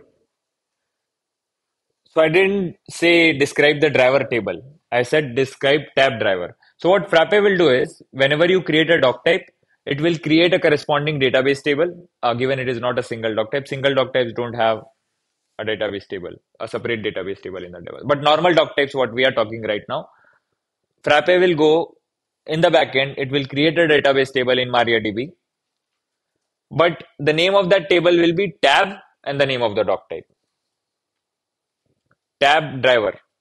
So can you guess what will be the name of the sales invoice table? Tab, uh, tab sales invoice, tab purchase invoice. So just prefix it tab and you will find, and you will see it did some stuff to convert whatever you had in the UI to the actual field schema. Cool. But this is in this only. You can't share it right now.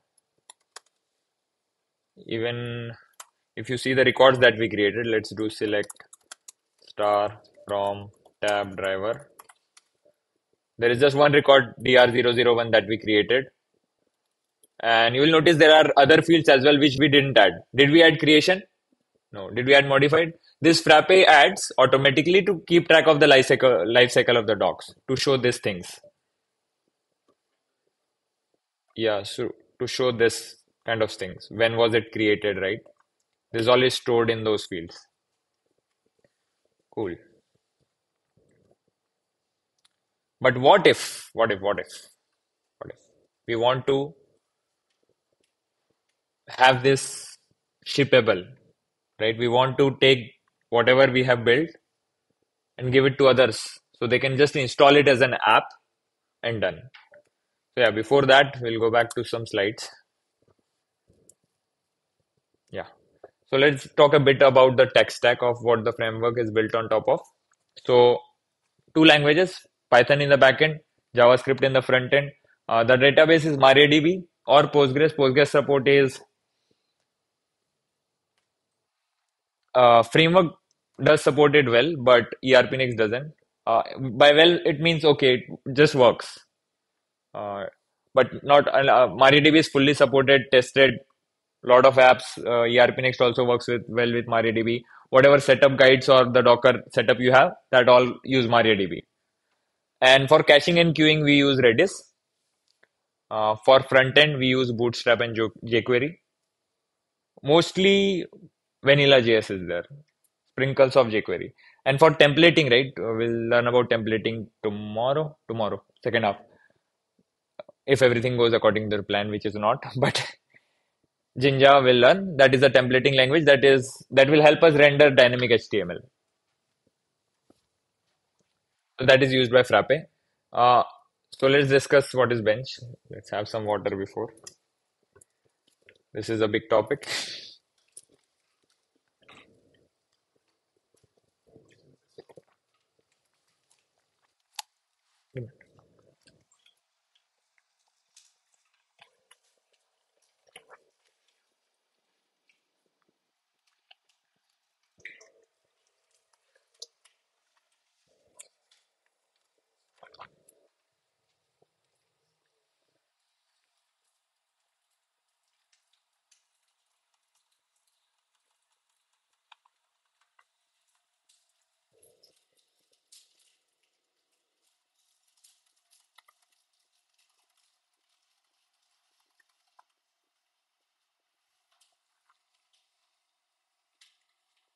Did it come back up?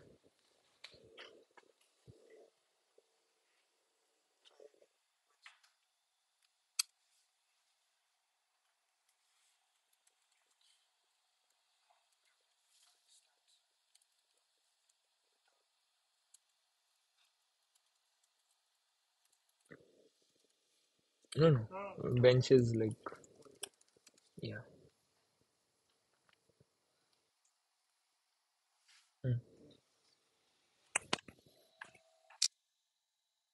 No, no, no, not 9,000. Don't uh, go to 8,000 and click this.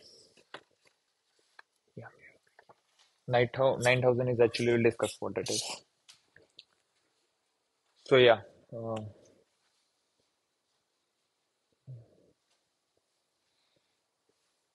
so, this is like key to understanding if you are to work with custom apps and Frappe locally, right? This is like if you understand, the better you understand this, the easier it will be for you to debug some small issues, uh, work around with uh, dependency issues mostly. And uh, whatever we discussed, like the before the host and etc., that will make more sense. So if you see this diagram, right, there is just one MariaDB, right? There are multiple sites, there are multiple apps. We have Node.js. This we use for two purposes. One is Socket.io and then other is website theme rendering. So one is the running process, right? We'll see where it is defined. Redis, as I discussed for caching and queuing, we use Redis. Redis is a key value store, right? It is not a normal database, but it's fast. It it keeps stuff in the RAM. So you might know, right? RAM is faster than ROM. Accessing RAM is faster than ROM. So whatever caching you here is probably inside Redis, and Frappe fetches it from there. Uh, we also have background jobs. So if you want to run something in the background, we also have a scheduler. We will discuss that. So every maybe you want to run something every day, right? That will come under schedule job. So what is bench, right? If you just ls in the bench directory, right? You will see there is an apps directory, there is sites, env, logs, and there is a file called proc file. Just ls and check. In your bench directory, just ls. See, I ls into my bench directory. There is this proc file. There are apps folder. Obviously, there will be apps inside it. There is the sites folder where all your sites live. Logs, some configuration. env. There is a folder called env. So can you guess what it is? What environment? Exactly. It's the Python virtual environment. So bench, when you install bench, right? You did pip install bench and you created a new bench with a bench in it. It created a virtual environment around it and all the packages, Frappe, its app, its requirements installed inside that environment. So whenever you are running some command, the Python, everything that processes are running that are using this environment, not your global, uh, what do you say, Python environment. Yeah. So you can't just say pip install pandas and expect it to run in your custom app. Because pip is global. It will install in your system, not inside the bench. So you have to install packages separately. Right? So for that we have a simple command. Instead of running pip install pandas, you just do bench pip install pandas. So that will install inside the env, the bench environment, virtual environment. So I will do just ls in env and I, I will ask this in the evaluation call. So remember. so this is the env folder. You can find it has a bin. So yeah, you can see what all packages that uh, .env, HTTPX. So what all, what all I have installed in my bench. Some are dependencies of Frappe, some I just installed. So these are all Python packages. Even the pip binaries and everything that is used by ah OpenAI is also there. pip. See, these are all the packages. So whenever you want to use some new package, Python package in your custom app, you just install it on the bench environment, bench pip. Cool. So this is that piece, right? Everything is there, but the, everything runs on top of what virtual environment? This Python virtual environment, and which is this env folder. So the requirements yeah. So whatever requirements you define your custom apps, Frappe will install them. Yeah, yeah. This this env. So all the requirements. So each app has its own can have its own requirements file. Recently, we switched from requirements.txt plus setup.py to pyproject.toml file. I'll show you when we dig into custom app that how you can install. So this can be useful if you're doing some, okay, you saw OpenAI, right? That I installed in one of my chatbot apps. They have a Python package. So since this is the other end of the spectrum, we shifted very quickly. We were doing in the low code, no code stuff, but now we are in this realm. Here you have full control. You can install packages, you can use them, importing in your own uh, custom app files, which you will see. But yeah, that is the Python virtual environment and MariaDB is the database. So each site, right? The database server is one, but the database itself is one per site. So each site has one database. Each site has one database. Correct? Where do you find what database was created for each site? Some file will be there, right? Which will tell you what, what database was created, was the password for it. Yeah, so let's go into the sites directory. Uh, cd sites. And what is the site we created? Uh, irfan.cabs. Let's do ls. And you will see there is a site config.json file. Let's open it up in VS Code site config.json. You will see. See exactly what I was talking about, the database credentials. So it created a database with this password, uh, MariaDB. So here if you are using Postgres, it will be Postgres. Then what user it created for that database. So you, you don't have to access directly Frappe is accessing on your behalf using this credentials. But behind the scenes, it created a new database for your this site. So each site is own, it has its own database. Because if it was a single database, you created two sites, both can't have a driver table then. Then it has to be one table. And in that case, so everything mess up. That's why each site has its own database. Multi-tenancy, right? That's why a single bench can have multiple sites. Yeah. Where? I just did ls to check in the site. So I went into this particular site. So sites folder has one folder for each site with the same name as the site. So for our case, it was irfan.cabs. And then I just opened the site config.json. And we saw one more config file where we where we had the default site we removed it common site config so that configuration is applicable to all the sites this one just this site So if you define something in that common site, it will apply to all the sites on that bench. But if you just want to define it for, for one particular site, you can define it here, right? There are some configurations that are defined on the global level itself, just like default site. But yeah, this is that. So these were sites. So sites are nothing but each site, one database, done. But now apps. Yeah. So we call them custom apps. So Frappe will come by default. When you create a new branch, Frappe will be there. Frappe is also structured just like an app, but it is like mandatory. You don't have escape out of Frappe because it brings the whole system. But you can build on top of it. So ERPNext, right? It is a custom app. All apps you see in the Frappe Cloud Marketplace are custom apps. And what are custom apps, you'll ask, right? So custom apps bring their own doc types. They can bring templates, web views, their own portal pages. So all will be packaged in one repository. Maybe you push it to GitHub, we'll push our app to GitHub. And someone can use this command. Where is it? Yeah. Bench get app command. It will give the git URL. It will get this app and have it in your bench. Right? So suppose new site we saw, this command can be used to create a new site. But now we are coming here.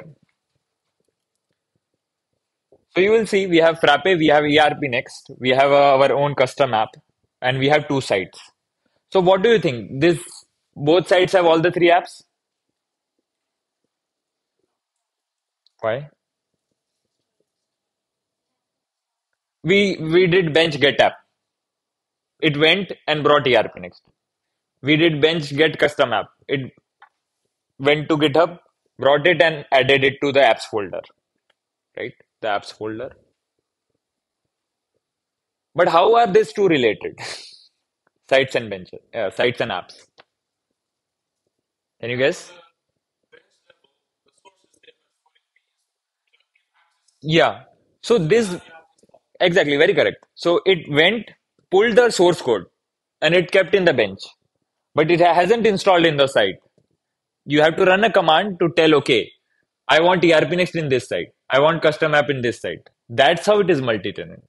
But you can't have separate versions. So you can't tell, okay, I want ERPNext version 14 in this one and version 15 in this one. That can't happen. So version is bench level because the code is same. So when you when it went and pulled the version 14, it is for all the sites. If you install on this one, this will also get this same same source code. When you install on this one, this will also. But you have option.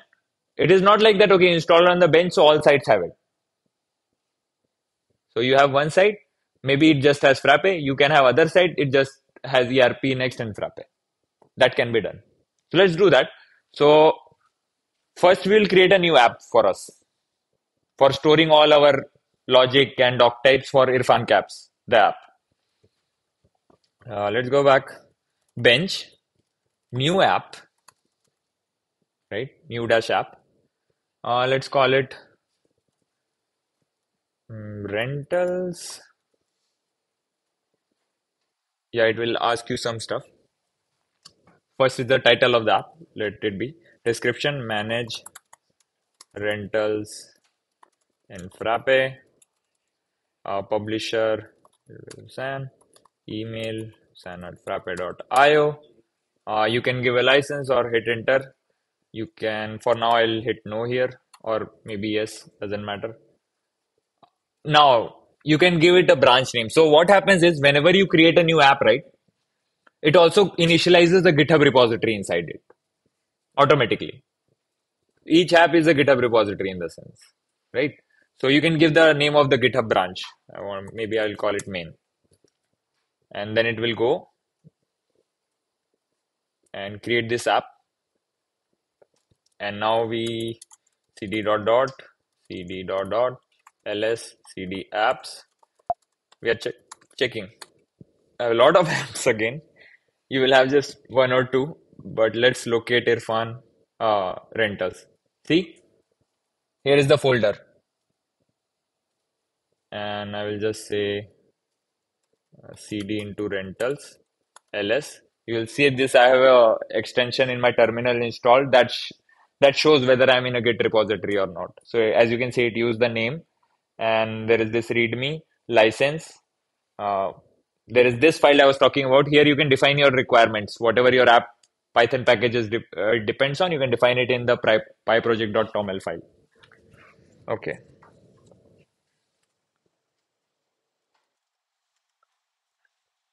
I'll just open it up in VS Code. Let's enter full screen.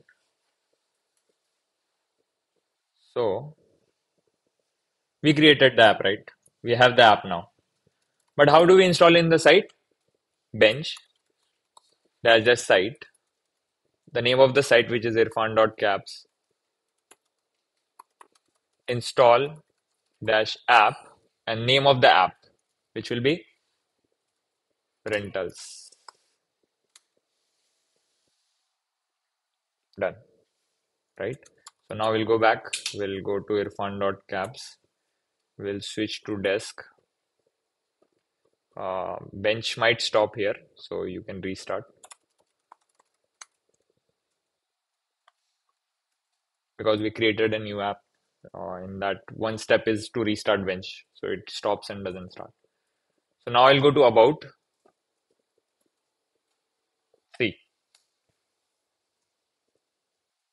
our app got installed. And it is you can see in the about it is like by default it will give some version 0.01 and this is the branch the github branch.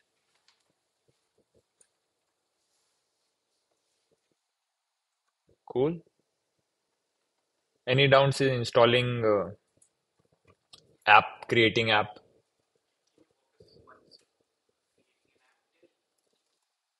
Okay. So apps you understood what apps are right? Custom apps are basically they bring in their own doc types the logic everything. And you can install those. Kind of. But they're a lot of uh, more powerful because of the hooks feature that we'll learn. Uh, so what happens is you can create new app. It will be in the bench. It won't be installed automatically on all the sites on that bench. It's just the source code. But when we so we use the new app command to create this new app, new app rentals. We gave it a name. It walked us through a wizard. What is the bench title? Uh, like what is the app title? Who is the publisher of the app? I'll show you where it stores that information. And then uh, we install it on the site using this command. In the site, we install the app. So in this slide, we installed app on the site. That's what we did. And now that site has this rentals app. And that's what we were checking by going to the site and in the about. See, rentals is there. Yeah. No, multiple sites.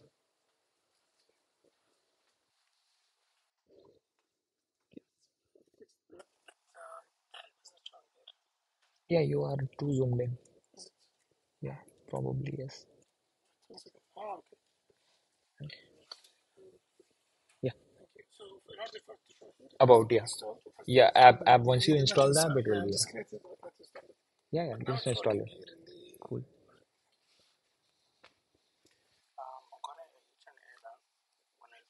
Invalid. So this CD. Remove the CD, then try again. So, so it says like invalid config. Okay. Uh, try restarting again. Um, but it, it, it already created the app, but it's obviously errors. So what do I do? Do I run again? This. Uh, yeah, run. Try running it. Yep. No issues. Yeah. Your listener. So yeah, yeah, I forgot to mention. So all the commands, right? I have a cheat sheet. I forgot. How can I forget this? Thanks, thanks for the reminder. So when you go to manual, just uh, scroll down to the bottom. There is bench, and click here. So I like cheat sheets.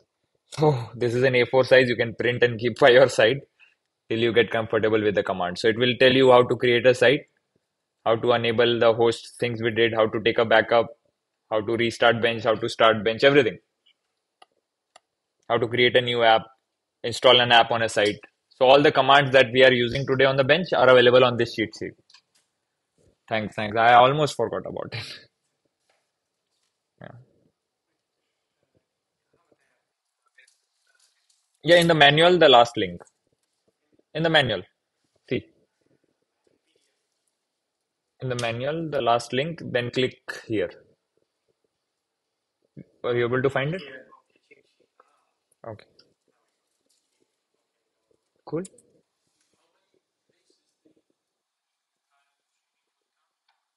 Three days. So we uh, earlier it was four days, but uh, since we are leaving on 7th of night, we'll cut short it. So th the fourth day was mostly Q&A session. We'll do that online. The content will be same because three days uh, we had the content and fourth day was Q&A session. So in between we are having Q&A, so you can ask anything anyways. But yeah, we'll schedule a two-hour Zoom call. You all can join after a few days, of course. So yeah, now the app is installed. It is ready to go. Should we take a break? Yeah, let's take a break. Uh, you can come up to speed if you are following along. Uh, or l- we can continue for 15 minutes and take a lunch break at 1. Does that work? Okay. Works, right? Do that then. I can go on and on, but yeah, we have to start somewhere. Yeah. Yeah, there is memory for that. Okay. Cool. So now I'll just open this whatever folder got created for the app, right? I said app is nothing but the source code it brings. So I will open this in VS Code and just quickly walk through what is inside this. So there is a README file that Frappe generated for it, right? Um, some stuff on how to install this app. So you can change this. What is the path to your bench? What is URL of this repository? Install app. Um, some stuff for the information. So this will be useful when you push it to GitHub. GitHub displays it in a nice formatted way like this. This. Yeah, let's go back. This is the file I was talking about, pyproject.toml. So before this, we had two files, requirements.txt and setup.py that used to take care of this. Now it is much better. So when you told Frappe about the author and email, right, it put it here. Author's name, email, name of the project. So this is not something specific to Frappe, by the way. This is Python. We are defining a new Python package. Each app is a Python package. So that's why we have this file. And you have what what is the minimum required version of Python? Make sense? Yeah, yeah. In this app. Yeah. We, next step is that. So w- we created the driver doc type, right? So our next step will be to move that driver doc type in the app so we can share. Make sense? Yeah. So right now we are just uh, after lunch we will go into developer mode, literally. So dependencies. Someone asking in requirements.txt, whatever you are defining, right? You just define them here now. You can say pandas 0.1.1. And whenever someone install this app on their site, like on their bench, it will fetch those and which folder it will store? env folder. env is the Python virtual environment.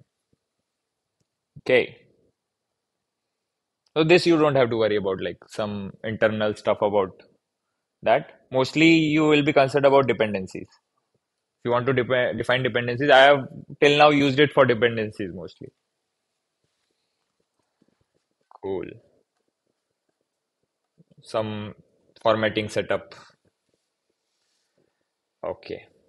So now what other files do we have? We have a license.txt. So it asks me what license do you want this app to be. So Frappe is MIT license. So you can use cell whatever you want framework. ERPNext is AGPL. So if you are giving to someone, you have to give it in the same license, right? So that is a little bit more restrictive. You can't sell it. Whatever you built on top of framework, you can sell it. So read more about if you are interested, you can read more about this licenses in open source. MIT, AGPL, yeah. Mm, then we have git ignore to ignore some cache files. Then we have the folder, which is the same name as the app. I will open it up here. And here you will find a lot of folders. So there is init file, which makes it a Python library again, some Python specific stuff. So empty file with just the version. Uh, what else do we have? We have config folder, again empty. Public folder, which we'll discuss. Rentals again. So people are confused by this. so rentals, inside that there is a rental folder. Then inside that also there is a rentals folder. Nested folders. But that is your app. This is the package inside your app. And then this is empty right now. Module. It is empty right now. Why? Because we don't have any doc types. So as soon as you start creating doc types, right, the files that get generated will be placed here. Make sense? Then we have templates folder for Jinja templates. You can have your HTML templates, email templates. Um, if you are some reusable templates you have includes, you can have that them here. This is also interesting folder. We'll spend a lot of time in portal development. Uh, maybe tomorrow second half as I was saying. So we'll build a portal for vehicles where users can come browse list of vehicles. Just small e-commerce site. They can book click on book it will give them a form they can fill and book automatically booking will be created done so we'll automate that part as well we are moving away from him from excel right let's give them all the power so yeah then we have hooks.py file again. Third day we'll discuss a lot about this. Modules.txt patches.txt so module uh, we have to discuss. Patches we'll discuss. So advanced again. So mostly whatever we now will do right will be under this folder rentals folder. This is the module. So you can create more modules by the way. So if you want to see this in the ui what all modules an app has you can just go to module list module def uh, module def list you will see the rentals app has a rentals module this is the inside wala folder right? And Frappe has a lot of modules. Uh, there is automation modules, there is social modules, and module is a way of grouping doc types in simple terms. So we created driver, we stored it inside custom. And if somehow we can move driver to this module, then it will be inside our app. Right? Is it making sense? No? Okay. right. We stored it someplace. But if somehow we are able to move it here, that will be good. So that's what we'll do. We can create more modules. So if I just come here and create new module def, and let's call it my module and here we will have to shift into developer mode so just a brief five minute and then we'll take a lunch break so this battery went low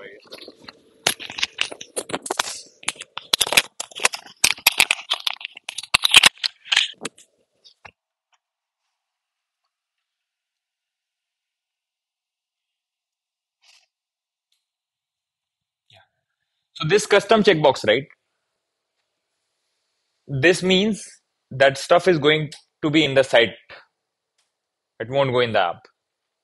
So whatever is in the app, we call that standard stuff, and this is the custom stuff.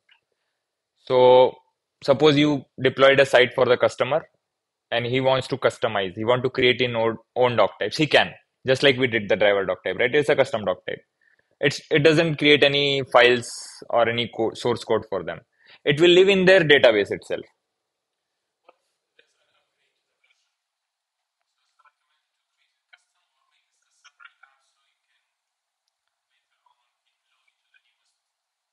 So even if you upgrade, right, it will be fine. Uh, so modules, right? Yeah, if they are inside Frappe, yes. So if you have them in the app and you you are you, there was some breaking change, then you have to update your app to make sure it is compatible with the latest major version. No, so Frappe will take care then. Yeah, yeah. If you do it custom, like most of the cases, it will automatically work. There are some breaking changes, and only if your customization is using that feature, then you need to go and fix it. Otherwise, it will give you migration errors. That's all.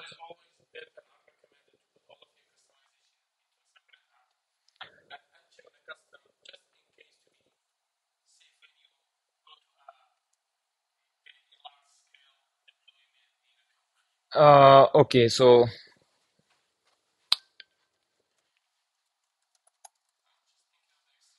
y- no, no, this is this is a good question, and if I'm correct, somewhere around here there was a discussion planned. I don't know where is it. Yeah, custom counterparts discussion. So here we will all discuss all about what goes into customization and what go when should you decide to build an app.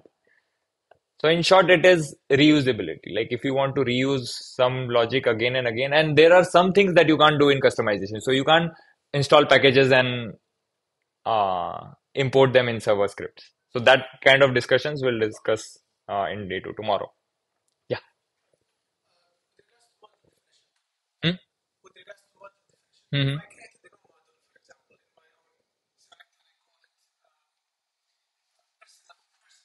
Personal, yeah.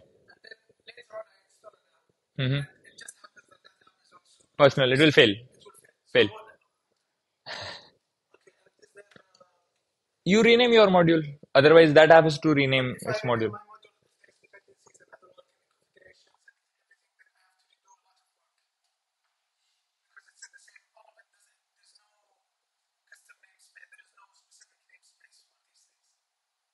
Mm. So rename doc, we'll try to rename, but uh, you have to make sure that everywhere it is same.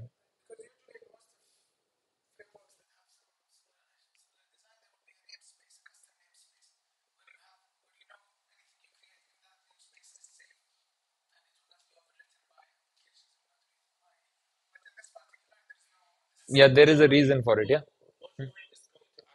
Yeah, module name is going to act like that, but even if you inside the module, right, if you have driver and someone brings in driver, it won't come. So it doesn't actually act as a namespace. So if some other brings driver, because yeah, yeah, it can help you group it, but it won't prevent any other app from bringing. That will fail. If yours is the first one there, you will win.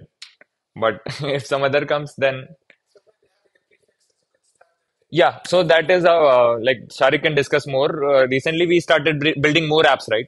So ERPNext has a doc type called CRM CRM Note.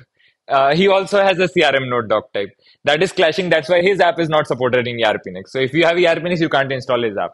So he's planning to rename that. Usually, new apps are doing that. So Gameplan, they are adding a prefix GP post, GP this, GP that. So it reduces the chance of a collision. So we can have rental driver. Yeah, IR driver, Irfan rental driver. Something if you have a driver doc type already somewhere. Cool. Yeah, let's take a break.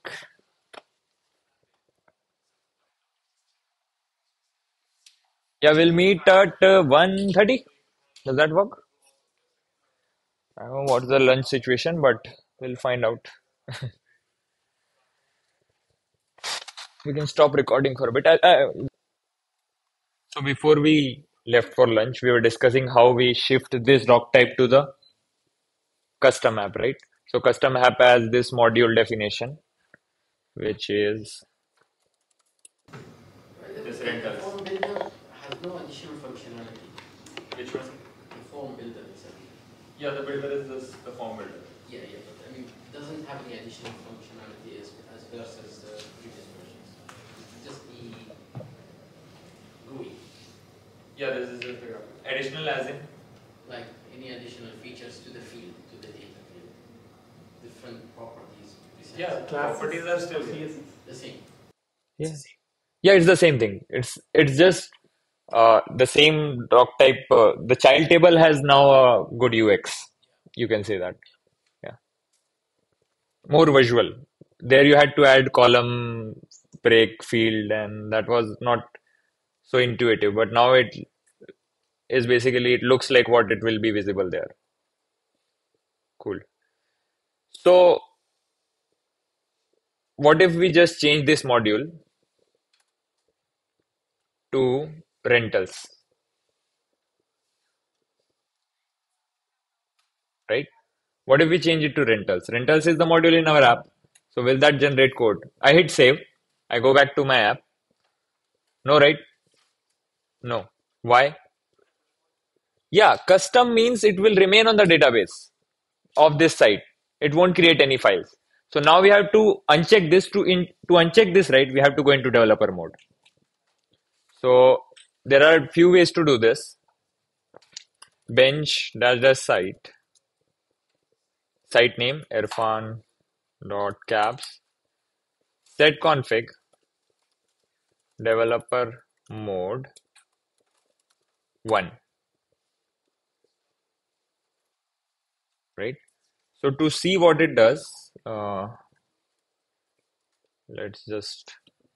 This is one way of doing it. I'll just open up my site. Code. Site config. And just observe the site config after I run this command. Let's move this here, this here. Bench dash site Irfan dot cabs set config developer mode. See what it, it did? It just went and added this. Um, so I misspelled it. This should be underscore. Yeah. So this will switch on developer mode, right? And once you have done that, just clear cache. Right, I am clearing cache or reload. And then if you go back to setting, you will see two things. One, this site is running in developer mode. Any changes here will be updated in the code, right? If you just want to customize, use customization instead. And now this is enabled. The checkbox, the custom checkbox got enabled, right? Here. So now we can disable this. I can hit save. Go back. Ta-da. New folder appeared. In that, we will have our driver. See? And it has some files. So each doc type will have its own folder. And you will see files here. So init is basically to make it a Python package. Then we have three important files. The fourth one is also important, but developers don't give that important to this file, sadly. But we have driver.js, which will help us customize the form or the list view, the front, the client side of it. So we call it a client script. Then there is JSON file. So you don't have to manually touch JSON files. Uh, Frappe manages it. So this is the schema of the doc type. So whatever you did here, right? This uh, settings, this we enable track changes, we created this form. This is stored in this JSON file. So if we were not in developer mode, it was not generating this file. Now, if I take this file, package in this app, push it to GitHub, someone pulls it, and they get the driver doc type if they install this app on their site because of this JSON file. This contains all the information to create the driver doc type. See, uh, if you scroll down, you will see what fields are there, right? Uh, even this metadata that we set through the UI. So now we have code. That is what we do in developer mode. Make sense? Now you can like since this is a GitHub repository, you can commit, push it to GitHub. We will do that uh, towards the end.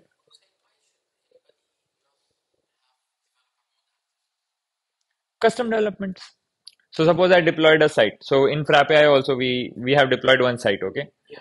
And for us only we want a survey form doc type say. Custom. I don't want it to ship in a code or reuse in another sites, right? So in that case, we don't need developer mode. Developer mode is only required when you need to generate uh, the source code. Yeah. No, and you should not. You can't and you shouldn't. Why? Because in production, never turn on developer mode. Developer mode is only for when you are locally developing apps. Otherwise, what was supposed to be customization maybe will generate code in your server. And Frappe Cloud, as soon as you update, all the changes will go away. It is supposed to be like that.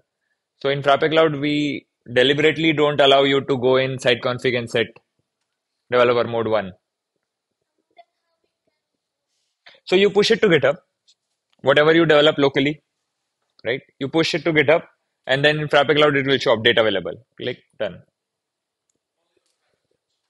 Only on private benches. You can add custom apps. But if you have self-hosted it, you can just do git pull in your app folder, restart migrate, it will come up. JSON file is important because this Frappe will look at this and say, okay, I need to create a tab driver doc table. Remember tab driver? There was this database table created. Yeah. So don't turn on developer mode on production. So there you can still create doc types, but what kind of doc types? Custom doc types with the custom checked. But if you want to create standard doc types that generate code, then you have to go into developer mode. Make sense? Make sense? You're still a little confused? Maybe come, it will come clarity. But yeah. So the other file is, the third one is driver.py file. We are going to spend some time on it. Uh, it will let us write logic using Python. So this is what we call the controller class of the driver. Uh, similar to models in Django, but yeah, then we have this test underscore driver class, which will be, uh, can be used to write unit tests. Right. So this is that. That's why I said. So every doc type, whenever you create a new doc type, you'll get this set of files. Right. JS for customizing front end, we'll one by one we'll go over each. Like each is a separate piece. Controllers is separate, this is separate, JSON is you don't have to touch. Frappe will keep it updated. So what happens is when you update one field, say you added a new field, JSON will get updated. So you'll ask, right? I shipped my ERPNext app or whatever my, my app is, new new field got added in driver. How do I get that new field in that site? Then you commit that okay, this was the file in the JSON uh, this was the change in the JSON file. You push it to GitHub. Either you pull it on Frappe Cloud or your self-hosted instance. You run bench migrate. Right? On bench migrate, like Frappe Cloud will automatically run for you. On bench migrate, Frappe will look at all these JSON files, match it with their previous versions using hash. So we hashed the JSON file. It will see that, okay, new field got added, this field got deleted, and it will automatically migrate. It will automatically make changes to the database. If you add a new field, it will go and add a new field in that database table, new column in that database table, right? So that is the migration process. So in this is not like very database migrations are general concept in web development.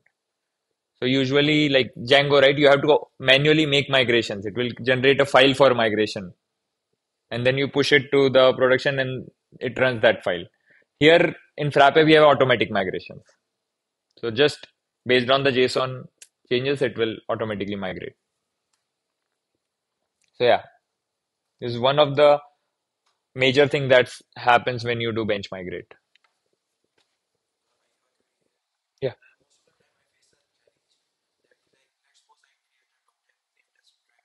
Hmm. Hmm. Patches. You have to write a patch. So patches are uh, so suppose Frappe is when when you run bench migrate, right? Frappe is running some doing some stuff behind the scenes. So this is called the schema of the doc type, the table. It will be updating the schema or uh, dropping columns, adding columns, renaming columns. So there is no rename kind of, it just creates a new and deletes the old one kind of. But in patches, you can write your own script. There is a patches.txt file. This one, right? Here you can tell that I want to run this code either before the update or after the update. You have two options. Right, I will share. Uh, I have like in the manual, I've shared the documentation in day two or three where you can learn more about it. But here you can run your own code while migration. Maybe you want to fix some column, right? Maybe you want to have one column, you renamed it to something else, but now you want to copy that data over. That patches will let you run your own scripts while migration. Cool. And patches run only once, so to fix existing data. Cool. So yeah, now we have the driver doc type and that is standard. Now no longer custom is checked, right? What more doc type should we create? Vehicle. So before, yeah, yeah, yeah, go ahead.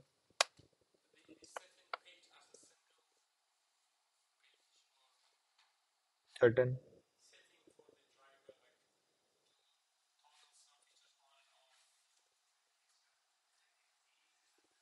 So maybe we have to create a separate doc type.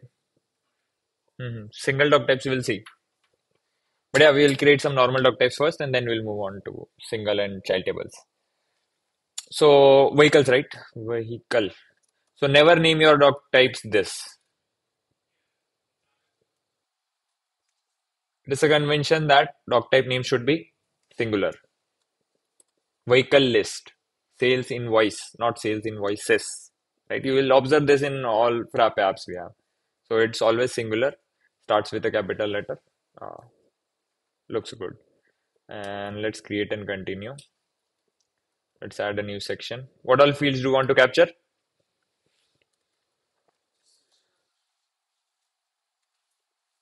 Let's check the lines. Okay, vehicle ID uh, looks like it is auto increment, right? So we can go to setting. In the naming section, we'll say auto increment. So it will say one, two, three, four. Then what else?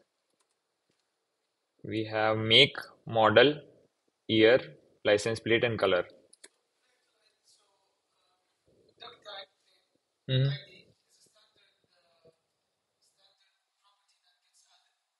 Which one? Yeah, name, name. It is called name. Yeah, it is called name. So bench does the site Irfan dot cabs MariaDB. Select star from tab driver. See, we didn't add a name column. And you can't add a name column. So if you try to do name it will say no. Name is already reserved for unique id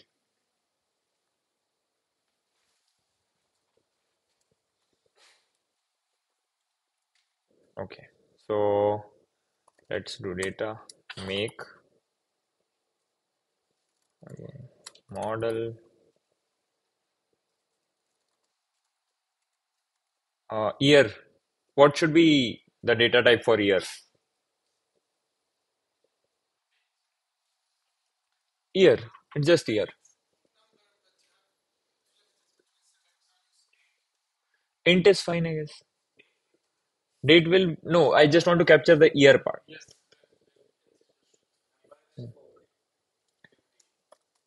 Yeah year. And then i will just check this box non-negative so it won't allow any negative numbers to be entered here.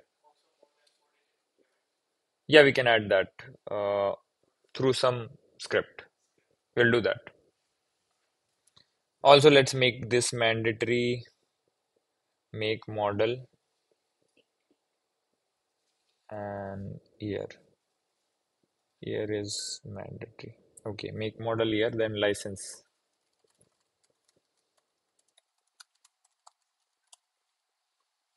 what else color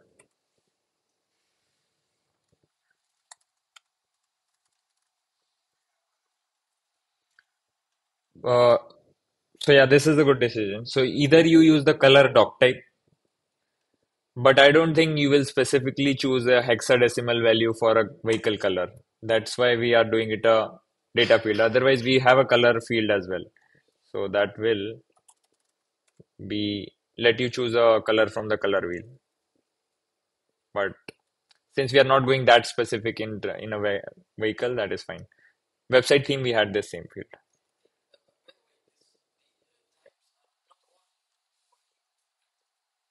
Not all working as in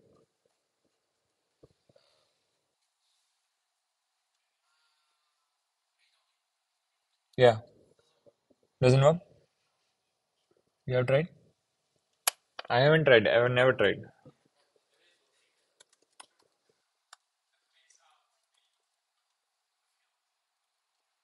Read only works.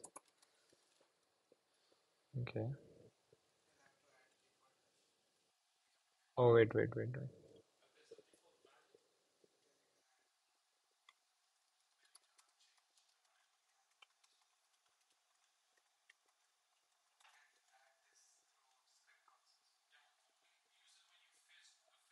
See,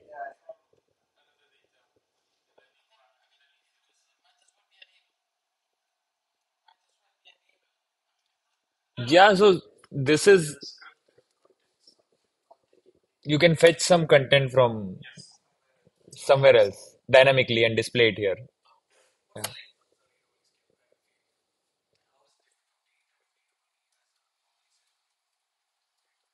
It's just data only with read only. That's it. Yeah, it's the same essentially. So you can just replicate this with uh, data and then there is a read only checkbox. Same thing. Yeah. Yeah, we'll do that. Just after this, we'll. So now we saved and now we can have vehicle. But now, like it's better to import data in bulk. We already have the Excel sheet he has shared with me. Uh, so we'll import this. So we have something called data import, right? I'll open up data import. It's also a doc type, of course. And then you can select what do you want to import, right? What doc type do you want to import? So I want to import driver. It won't let me because that needs to be enabled at doc type level. Import should be enabled. So we'll go back to doc type. Uh, let's say driver settings. And again, if you can't find it, control or command J, import, go. It will take you to the checkbox. See, allow import, and that will allow you to import it via the data import tool. I'll do the same for driver or the vehicle. J import go check. Okay. Now we can go to data import list. Uh, you might need to refresh because it's a JavaScript thing. Like it fetches from here. Now I should be able to driver. So either you can update existing records in bulk or you can insert new records so we want to insert new records hit save uh, it will give you a template if you want on how the Excel or the CSV file should look like or how it should be formatted. So I don't want the template. I already have the CSV file, but it will let us map some columns that we'll see. So let me just find that file.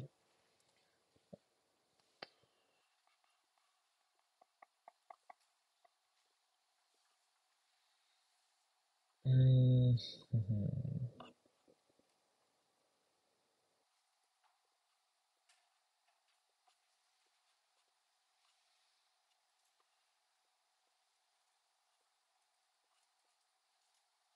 Hmm. Where did I keep those files?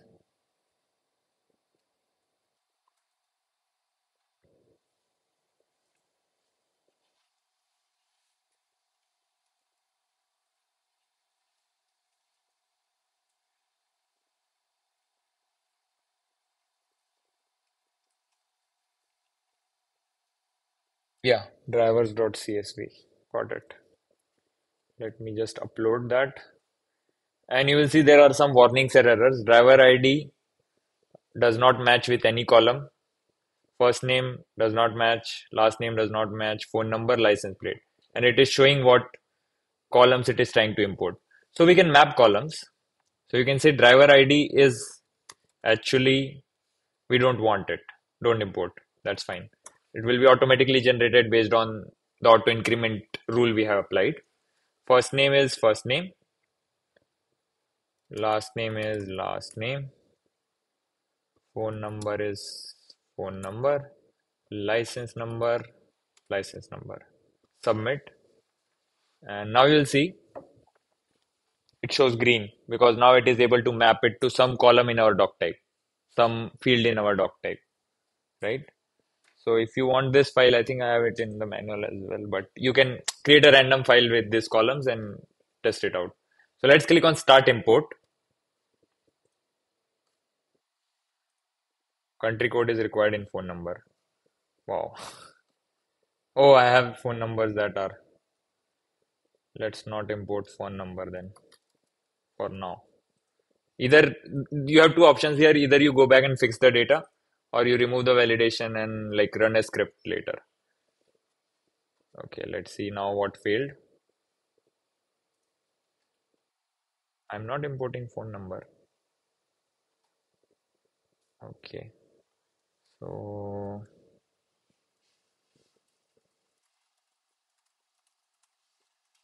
see,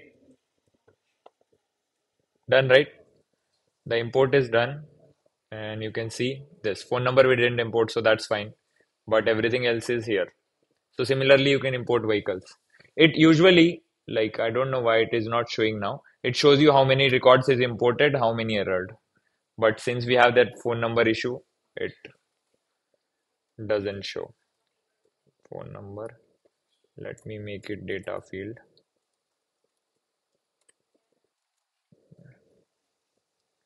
And then import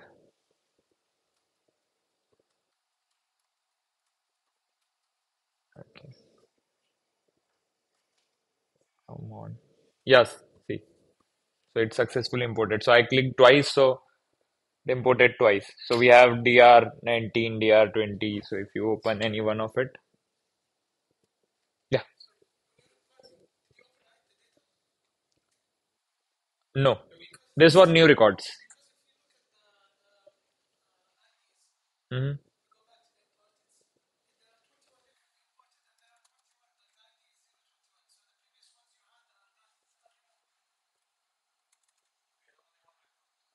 We only had zero one. Jenny was there. Yeah, we only had Jenny. Yeah.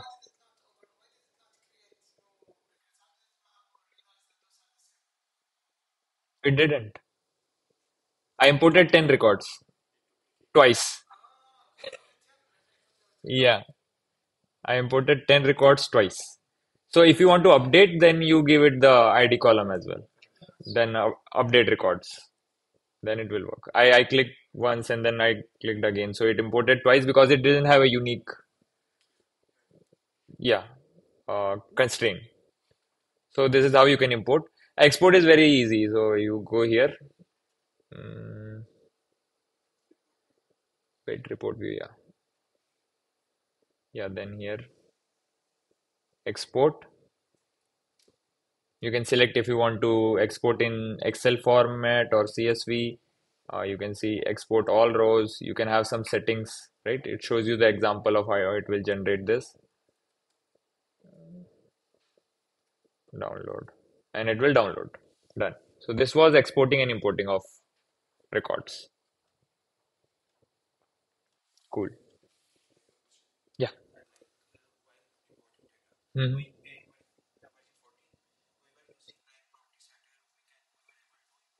hmm hmm hmm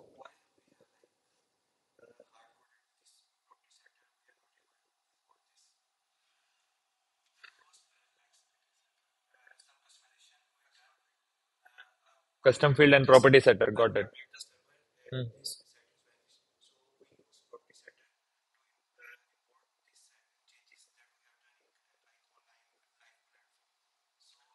So import, right? You imported and it worked. And what happened when you updated the site?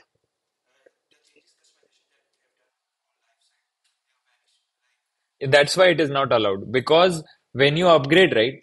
Like when you run migrate, specifically in the migrate state, it looks like um, fixtures. So fixtures is the right way to do it. Then you say, okay, custom and property setters as fixtures. And then whenever migrate is run, they are cleaned and re-applied. So when you import it and update it, it cleaned it, but it didn't reapply because you you manually imported. Again, you have to manual update. But if you use the hooks feature that we'll discuss Uh, in the fixtures, it will automatically clean and again apply. That's the right way to do it. Yeah. That's why it is not allowed in import now.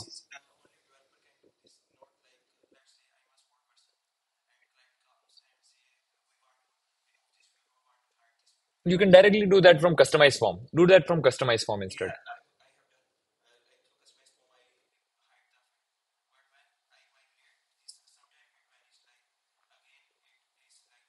Overridden.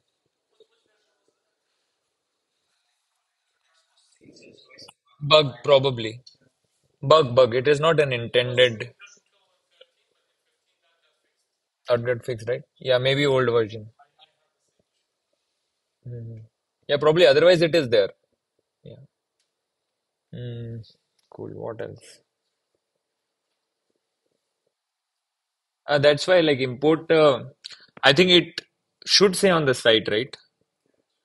It should say on the site, but due to the bug, it might went away. But it is not recommended to bulk uh, import. That's why maybe someone disabled it.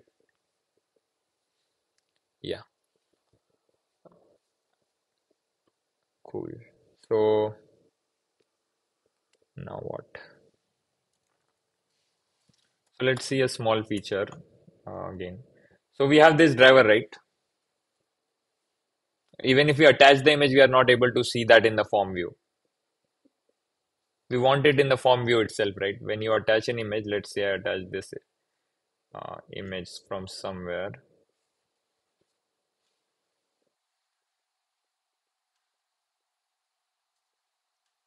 It is like this. If you hover, it is visible. Just I want it right here. If you might have seen the employee doc type, it shows the photo right here. So for that also we can go here in the settings, form settings, and tell it the image field, right? Hit save, go back, See, now it is visible in the form. Either you can change it from here or directly from here. Both work. Now this is metadata driven development. What else? Yeah. hmm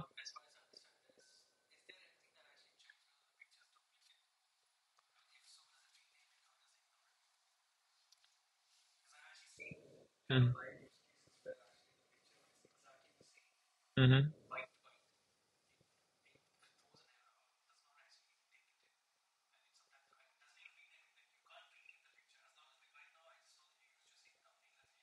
hmm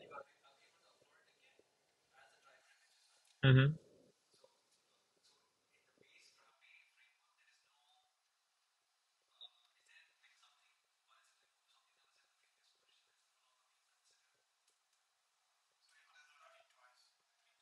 Yeah, it is there three times. No, no, pointing to the same file. See,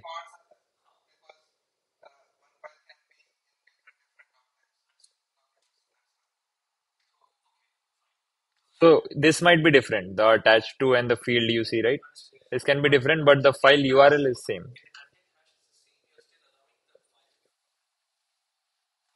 No. Yeah, thanks. Cool. Yeah, not duplicated. Mhm. So even if uh, just the name is same as hash is different, right? It will add a random something. Yeah, cool. That was about file. So file has a different view as well. So toggle grid view. It will show you as a grid of folders and files. Yeah,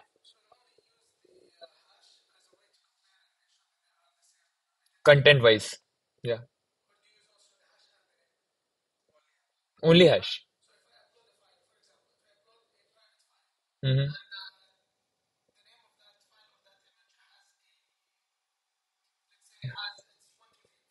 Mm-hmm. Mm-hmm. Mm-hmm. Let's find out.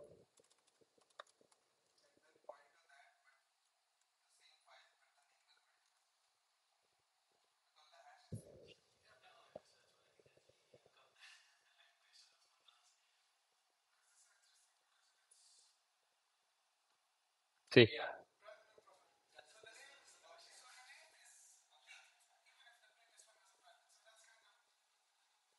Yeah, name is leaked. So you see, the file name is this, but the content of the file is fetched from this one.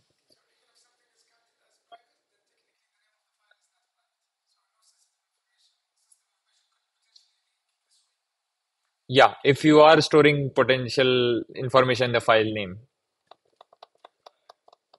Mhm. Yeah, that's a good point. Yeah, there should be some configure. Maybe I don't know, but it is like the way it is built right now. Mhm. Yeah, exact same file content. Hmm. Hmm. Hmm. Hmm. Hmm. Hmm. Hmm. Hmm. Hmm. Hmm. Hmm. Ah.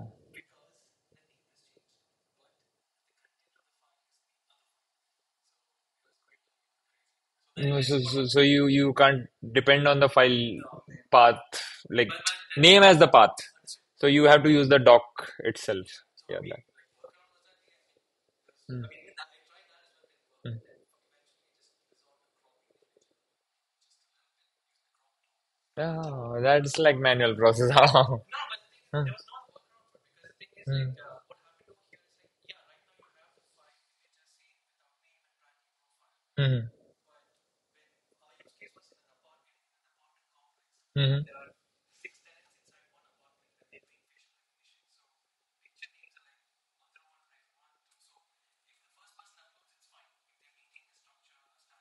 Mm-hmm.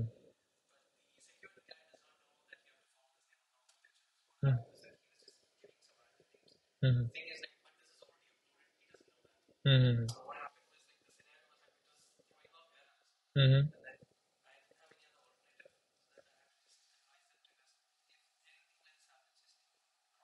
Maybe the application logic needs to be, yeah, yeah, yeah.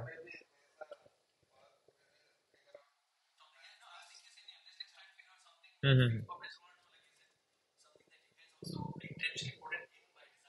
No, no. Maybe like uh, as far as I can think of right now, maybe application logic needs some framework. It shouldn't depend on the framework uh, uh, resolve resolution issue. Mm. Uh-huh. Uh-huh. Okay. Cool. Yeah, yeah. So yeah, let's see what's left. Yeah, so we have two major things to cover now. Uh, so virtual fields we'll cover tomorrow with before the controllers. So REST API. So we saw one way to create, read, update, delete documents, right, from the UI. Second is basically importing stuff. But there are more ways to perform CRUD, right? So suppose you have a driver doc type and you want to show the list of drivers in a mobile app on any third party platform service, right? Frappe comes out of the box with a REST API that you can use to talk to your Frappe backend from external systems, any external systems via HTTP. So you can make a request, get a response, right? So you don't have to do anything additional for that. You can just start using it, right? You don't have to like configure something anywhere. So let's, I'm going to use this Bruno. I've linked it in the manual itself. It's an API client which will help us uh, test API requests. Yeah, Postman. I hate Postman, but I have to mute this now. So yeah, but yeah, this is yeah, this the creator of this uh, Bruno. He came to Build With Hussain as well. Uh, very pro open source guy. It's like open source. It doesn't store your data anywhere. Postman immediately sent to cloud, their cloud. Uh, Insomnia was a good. Before this, I had to use. I had been using Insomnia in the trainings. Uh, then they also did the same thing. They asked you to log in. Then I said, okay, fine. Then Bruno is nice. So it will generate the file in your local system itself. That's good. So you can push it along with your app as well. So let's store it somewhere.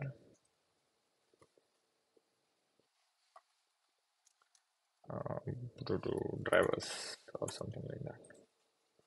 Folder name, rentals, create. You can use Postman whatever you like, like just personal opinion. So new request. Let's call it uh, drivers list. Yeah, now you have to tell it what URL to make the request to. So in Frappe, you first give the site name, which is in our case HTTP colon slash slash irfan dot cabs slash API slash v2 will use version 2, the latest. You are the first one to learn this in a training. Before this, I have been u- teaching only version 1. So now this is the latest shipped with version 15 and slash v2. So if you just do this, that will be the v1, right? You don't need v- v2. So what do we want? Drivers list, right? So this is documentation I have shared in the manual as well. That will let you know what endpoints to make the request to get data. So slash document slash driver. So what I'm doing, I'm making a get request to my site name slash API slash v2 slash document and then the name of the doc type. So if you make a get request here, it will return the list of drivers. This is JSON, by the way. It will return in JSON. Let's create and make a request. 503 service temporary unavailable. What?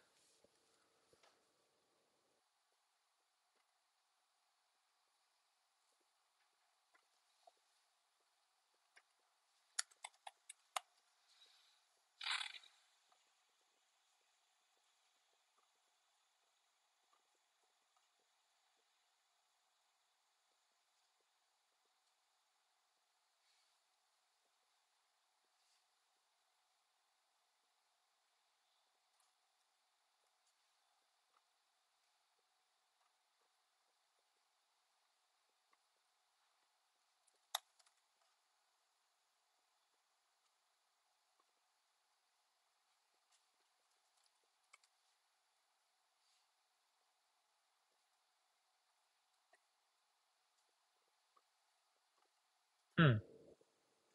Oh, did you see what we did here? So we, we missed the port number. So by default, it is making to 80 and 80 nobody is listening. I had Nginx running, but uh, yeah. So don't miss the port number 8000. But what did we get in return?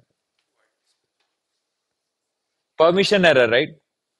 If it was, it did return the actual data. That would have been issue, right? Anyone with your site URL can get any data of yours. There should be some form of credentials, right, that you can use to authenticate this request. So that is where API tokens come in. So to get your API tokens as any user, right? So you go to user list. Maybe I want my own API tokens. Go to settings, scroll down to API access and click on generate keys. So this will give you two keys. One is the API key and one is the API secret, right? So let's generate. So note this secret down somewhere because it won't be shown again. And let's paste it. Yeah, somewhere we'll paste it. In VS Code itself, let's paste it here. This is API secret. I have floating notes somewhere. See? Maybe some previous training session API key and secret. okay. And then uh, if you close that dialog down, you will see you also have an API key. So grab both of this. Uh, let's go back to the API client. Here you have to send it in the header, the request headers. Let's create a new header. I'll call it like you have to call it authorization exactly. Then token then API key that we copied from Frappe, colon, don't worry, API secret. Okay. What did I do? So I added a new header to this request with, so token should be exact, and then you combine your API key and API secret with a colon in between. That becomes the token right? And now we try to make the request again. See, we got the data back. So here you can see driver one, driver two, driver three. By default, it returns the just the name. So you can ask more of out more out of it. So you can say, okay, uh, not just driver. I want this fields. First name, last name, and now I'll make the request. Got it? So in URL parameters, you can configure. You can have order by, you can have filters right in the URL parameters. All fields? You got it. Yeah. Yeah, API connection. Even you can make multiple Frappe instances talk. All fields, just do star. About?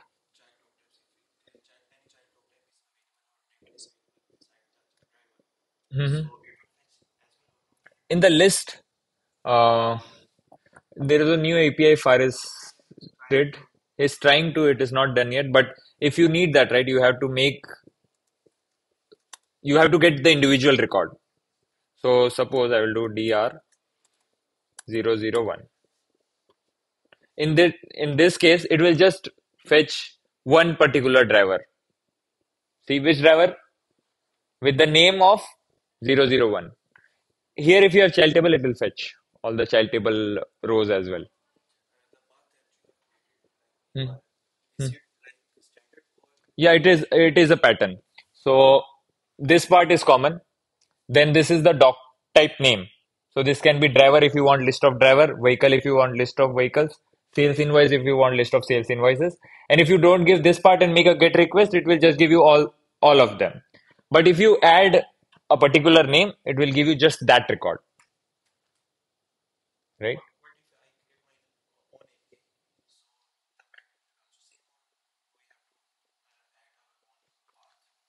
So here document will become method and then give your path to your whatever API. Just that part will change. So document is specifically for the REST API that we are discussing, the standard REST API that comes out of the box. So what if I want to create new driver? So instead of a get request, you make a post request and send in. Either you can send form data as well, but I will send JSON. So let's send first name as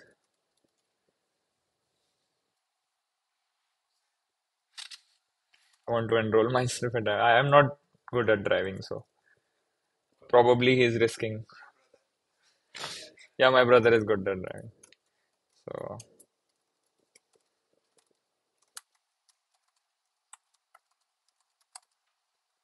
yeah, let's make a request with this data. Mandatory error. What is mandatory? License number is mandatory. Okay.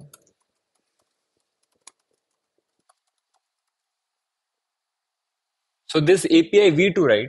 This is what brings this standard structure of errors. So it will give you all the errors in a list nicely. So you can, in your front end application on your mobile app, you can process this and display it nicely to the user. Before v2, it was not there. So if I do the same, I just change v2 to something else, like the older one, and you see the error, right? So earlier it was used to be called resource and just API. See, no standard format. You can't guess. You have to check whether there is exec type or exec this and multiple errors. How is it going to handle? So this API v2 brings this standard of yeah. So it will put all the errors inside a list in errors key. Okay, license number. Let's give a random license number. Yeah. So it returned this document back that it created. Done. So now you know two ways to do CRUD. One is the API, the other is from the UI.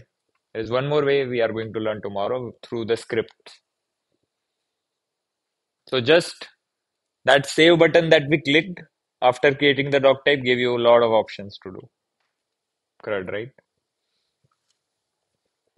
This also comes out of the otherwise. By the way, if you have ever worked with a traditional framework like Django or anything, it won't come. The REST API, you have to install a separate package, define one class for each entity you want to access. I have done it. So I know, like, it is hard. It's very easy uh, compared to that. And then you can write your own APIs on top of it. That's always there. As I said, like, best of both worlds. Cool. So this was REST API, yeah. Token. So you go to the user list. Whoever, like, suppose there are 10 employees, you want to generate a token for one of the employees, you go to their user record, right? And then go to settings, API access.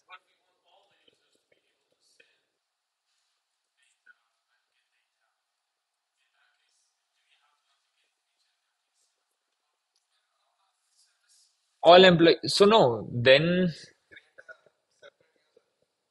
yeah, API user you can create. Hmm. Every user needs a username password.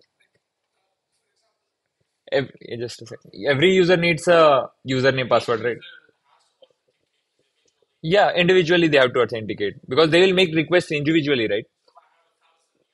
Thousand users. Yeah. So automatically what you can do is, yeah, yeah,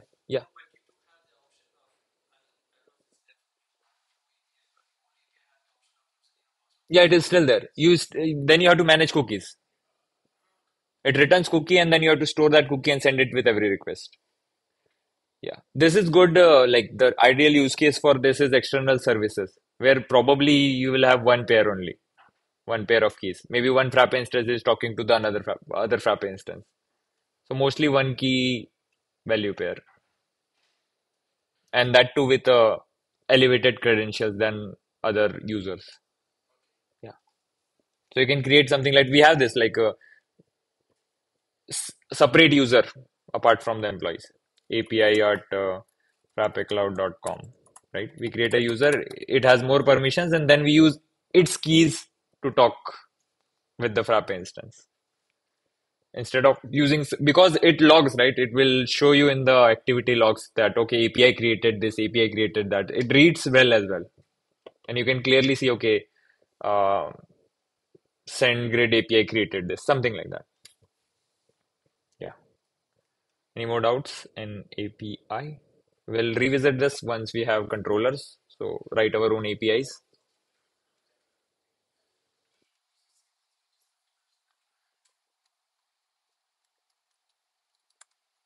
yeah.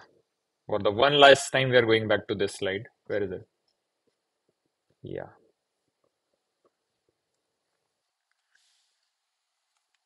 this is last topic of today before we uh, go into a completely different topic. So we saw the bench, right? The bench folder is there, sites are there, apps are there, MariaDB is there. But there are some more processes. Redis, where is it? We haven't seen Redis yet. If it is there, where is it? Where is Node? If it is running, right? These all are, I said, these are processes that are running. We saw the paths and virtual environments. Background jobs, if they are running, where are they running? You might want to ask, right? The web process is there. We can open the website and everything is there. But where are these guys running? Right? So let's open this file in uh, the bench directory, root of the bench directory. There is a file named Procfile. I'll go to the root of the directory.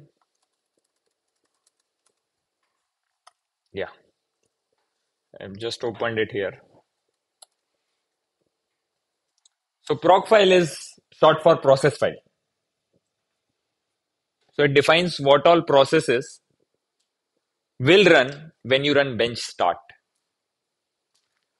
So if you now go back and look at the logs, you will see familiar stuff. See web. Here also we have web, right? Uh, watch. Here also you have watch. So when you run bench start, it will look at this file, this Procfile, and start these processes. So there are three Redis instances. I'll come back to why there are three. There is this web, and it is running on port. Here is where the port is coming from. So if you change it to 8001 and start bench, change it to 8001, right? And restart bench. Okay, where, where, where, where? Okay, let me restart bench. See, where did web start?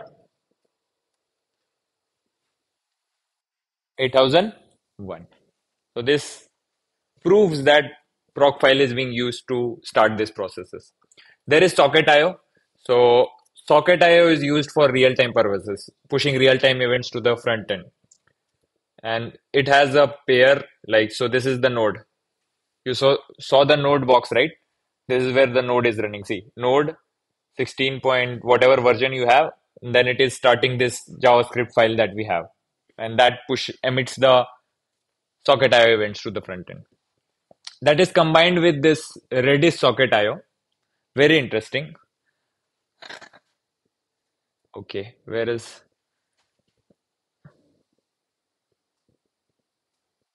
Come on. Don't ask me to sign in. It's fine. I can show gimmick.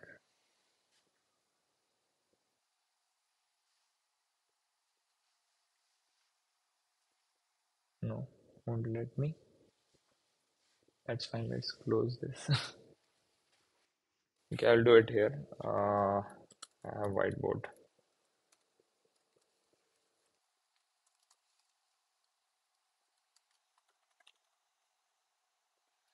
Yeah.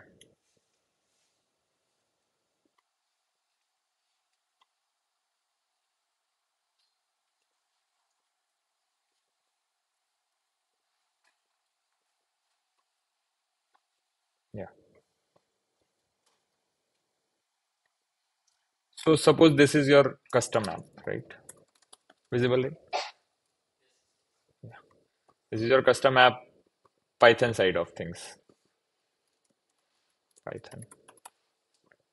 And then I'll duplicate this. This is your client, right? This is like the user who is using your site, the instance, the site they have opened. This is Redis, okay? I'll tell you which particular Redis. Let me just bring this here.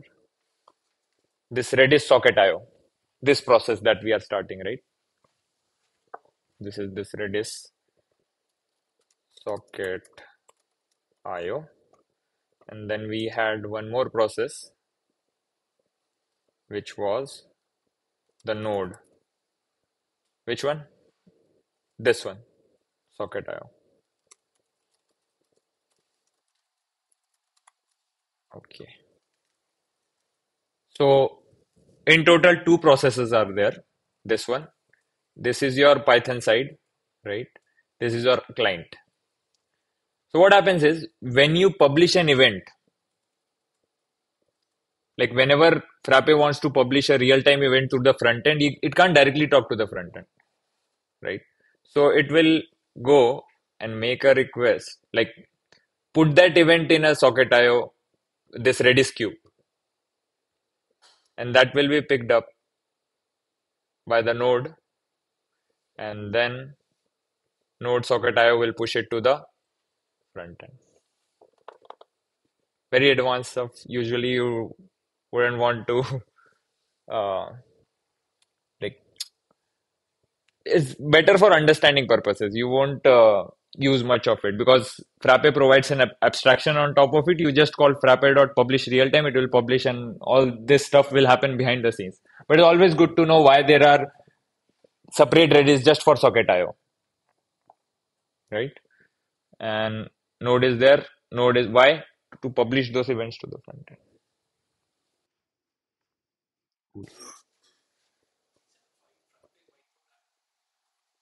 I have built it. yeah, yeah, yeah. So I published to marketplace as well. There is yeah, one of the episodes. I built it live, so you will find the video as well.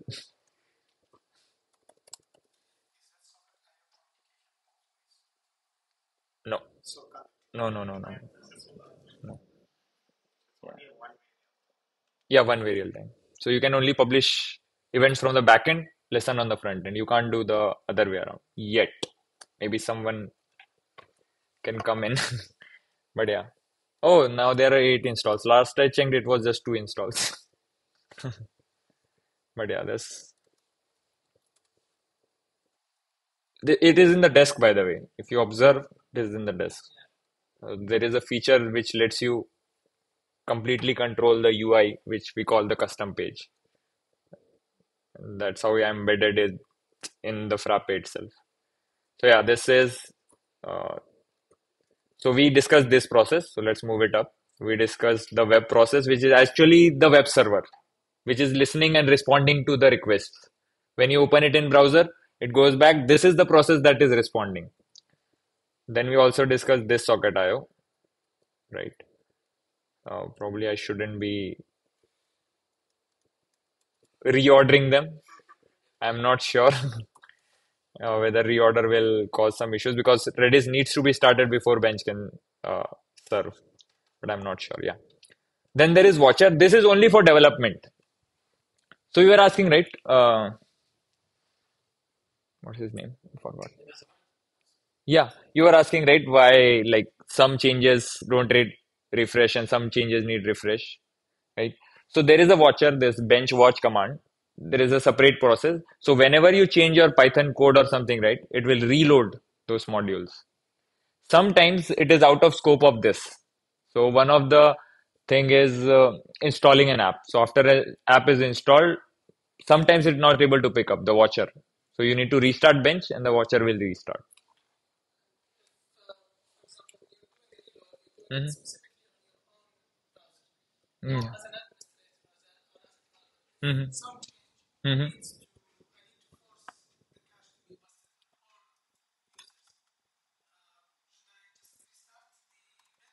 No, you can do this. Bench does just cite Irfan, dot cabs, clear cache. Yeah. And there is also clear website cache.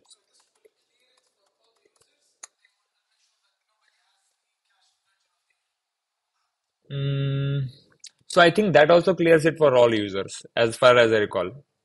There is no separate user cache.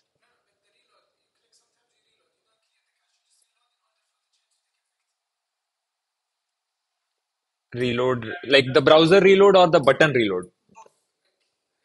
The browser reload is different. It won't clear cache. But, but when we do the reload actual the button, it will first clear cache in the backend. So it will just do same thing what we are doing uh, doing with the command. Yeah, that actually doesn't clear cache. That Mhm. no no no the form view form view. He's asking the in the form view there is refresh. That refresh actually goes in the backend and refreshes the data of that form itself. Only this form. Yeah.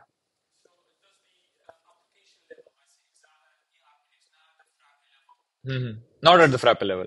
Yeah. Just in the front end, you will go to the back end and fetch it. But this cache, this clear cache will actually clear uh, the, the application level cache. And clear website will clear all the template cache, etc. Jinja template cache. Okay. This was that process. So watcher was this. Then this is the scheduler. So what scheduler does is it's also a process. It runs schedule jobs. So suppose uh, in Frappe we have a feature which lets you define, okay, every five minutes run this piece of script, right? So we have server script as well. You can say, okay, every day run this, every week run this. This is on schedule, right? On schedule you want to run something. This is the process that on that schedule picks up that and gives it to the background workers to run. They run in the background. So it is not that you manually go in your browser and run it. It will in the background automatically every five minutes it will start run and done. This is the scheduler. It will put stuff in the background. Yeah. And these are so you can have as many workers as you want. I have three workers here. These are the one who do the job in the background. So we can take a whole session on background jobs. I've done a video on it. Uh, but usually if you have something too big, say you are submitting invoices in bulk on click of a button or on some schedule, or you are like very good example is salary slips in bulk. You are at the end of the month you are doing it.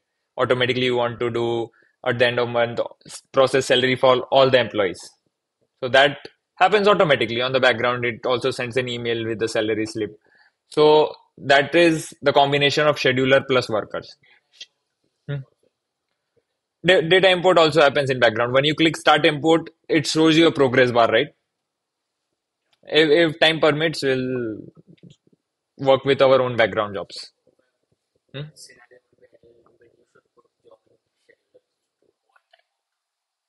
Yeah, yeah, to avoid. So when you make a request, right, to the backend, there is some limit to the time it can take to respond. Otherwise, it will give you a timeout error. Yeah, there is some setting, but there is a top limit to what you can go. In Nginx level, you have to do as well. Sometimes Nginx also times out. In that case, you put stuff in the background. So there are. Uh, so let's let's take this in the advanced towards the end. So our own jobs in the background. Yeah. So these are the workers that do the work. Literally, they are called workers. Yeah. Yeah, that's what I was thinking. We'll we'll see how workers work and everything happens. Day three, just remind me. Uh, we'll see. It's an advanced topic. Won't work come across it uh, frequently. But you, now you understand what Procfile is. Even if you don't remember all the processes, at least you should know that okay, there is a web process. There are some uh, caches and queues. So this queue is also related to background. And then cache is the normal cache we use for the clear cache command, right? It is where it goes and clears the cache. So three Redis instances, one web, one socket IO. There is Watcher. Watcher is not in production, by the way. In production, Watcher doesn't run. Watch is only for local. You ch- change the code, it automatically reloads. Scheduler is for running some scripts on schedule. Scheduler puts stuff in background jobs, and then workers pick those up, do the job.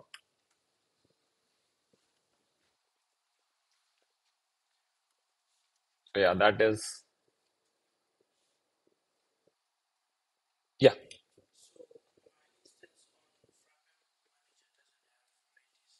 Mhm. Mhm. So check Docker engine. There is uh, services. So services are separate containers. So FM services, and then you can tell, okay, give take me to the Redis service. Yeah. Recent change. Earlier it was all like bench, but to make it multi-tenant, they took out the Redis and MariaDB to separate containers. So one MariaDB container is now listening to all the other Docker stacks, as far as I could like uh, understand. So in services you'll find it. Yeah. Any other questions? Or let's check. CRUD, doc types. Oh, controllers and life cycles. Okay, That's the next topic. Uh, but before that, now you know what happens on the click when you click save on a new doc type, right? It creates a database table. So suppose I created the vehicle doc type. How can I check its data in the MariaDB console? In the database console, how can I check uh, that table? Hmm. Bench does just site So are all do all sites have the same database or not?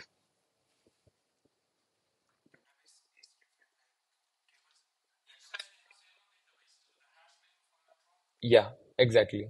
The database server is same, but inside that, each site has its own database. So that's why you have to mention the site to which, for which site you want to open the database console. Yeah. So this is the hash name. This is the actual database name. I showed you in the config file as well. It was still open somewhere. Yeah, this, right? So this is the name of the database and password type. So it is used by Frappe to connect on your, your behalf. So yeah, now I want to see all the vehicles from here. Select star from tab empty. Let's find out why. Irfan dot cabs. Okay, we stopped the bench for some reason. Okay, what we did was port. We changed the port in Procfile, remember?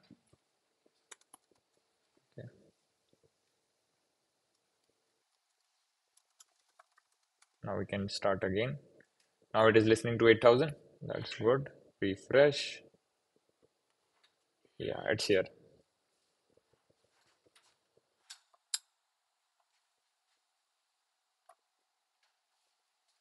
Yeah, what were we trying to do? Vehicle, yeah. Okay. Uh, BMW year 2000, color red. I don't know if there is a model like this. Hit save. And now if I go back to MariaDB, I have too many tabs open. So here. Now I'll go to MariaDB. Now if you see, you have one record. So just remember tab, nothing special there. So you can see what what was the modified creation. Owner is basically who created this, right? Yeah,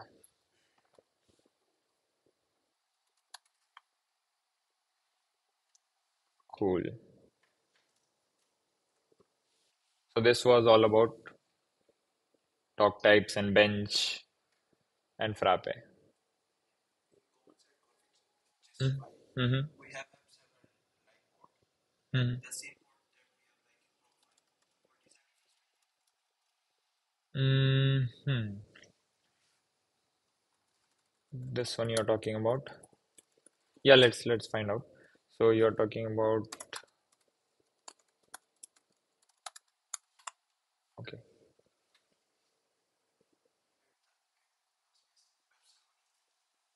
Web server port.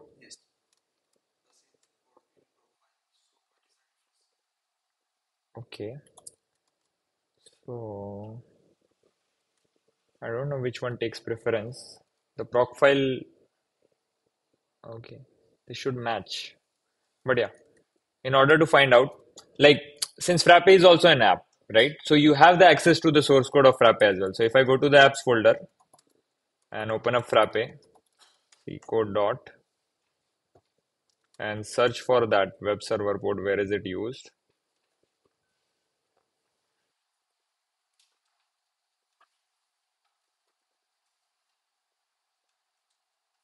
Okay, web server port, web server port.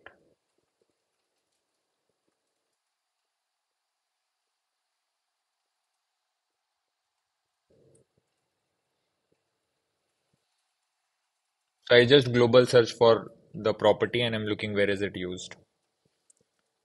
And this is get URL port.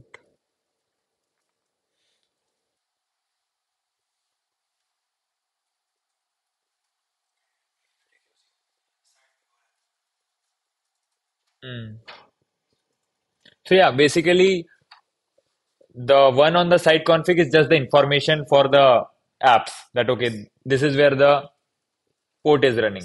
But one on the Procfile is actually used to run the site on that port, right? So this, if this misma- mismatches, there might be some issues. So if you update it there, make sure you update it here. Bench will automatically, if there is one bench and you install new, it will automatically take 8001 for both.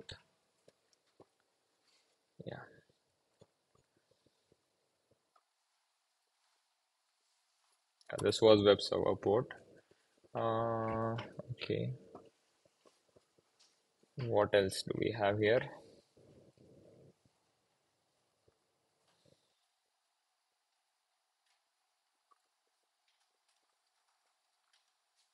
So yeah,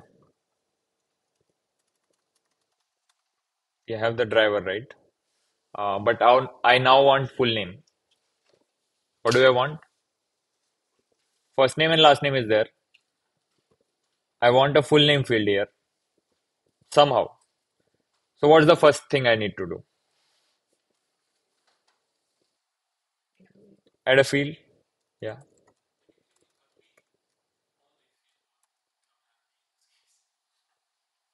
Yeah, but how will the user fill the full name then?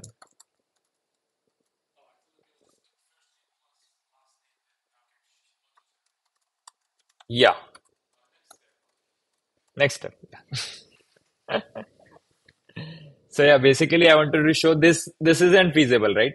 So suppose like if you update it here uh, to John or something like that, it doesn't update, right? So this is a field, a good use case for an auto-generated field. So we want to combine two fields that we already have. This is the first name and this is last name. We just want to have a third field, which is a combination of both. Here we can use some scripting, right? So if it's just to display in the form view, right? You don't want to store in the database. Then we have something called a virtual field. So we go back, go back, full name. I will search for virtual, take it off, right? Hit save, go back. You will see that, okay, why is it? Yeah, it is no longer visible. It made it read only. So if it has data, it will be visible, otherwise it won't be. Here it has data, so it is visible. Let's clear cache.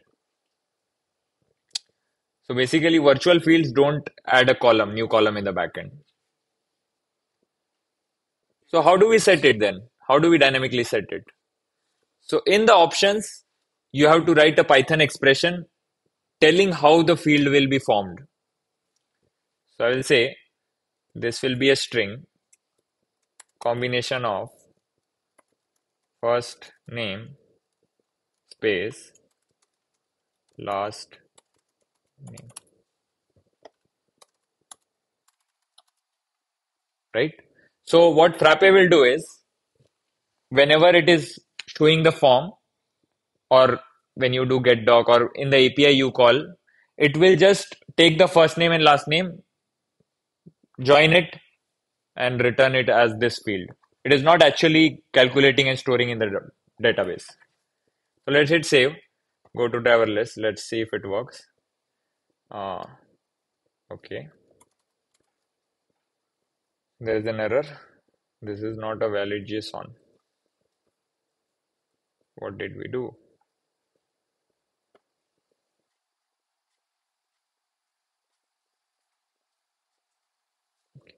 Virtual doc field. This is called a virtual doc field. So if you get stuck, documentation is always there. So let's uh, da, da, da, doc dot first name and doc dot last name. So doc is the actual driver. So see, documentation is helpful.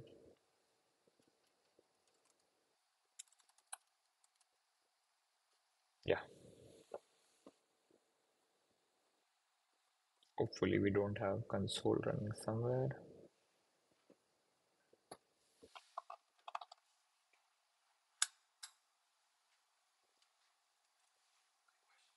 Yeah.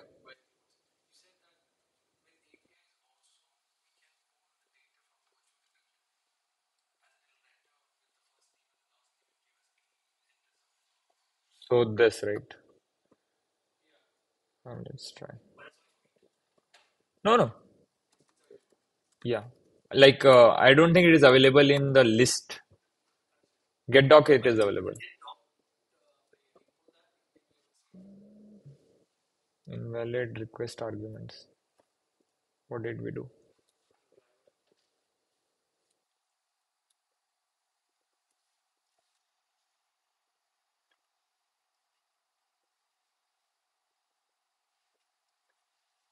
Wait, some issue. Let's refresh.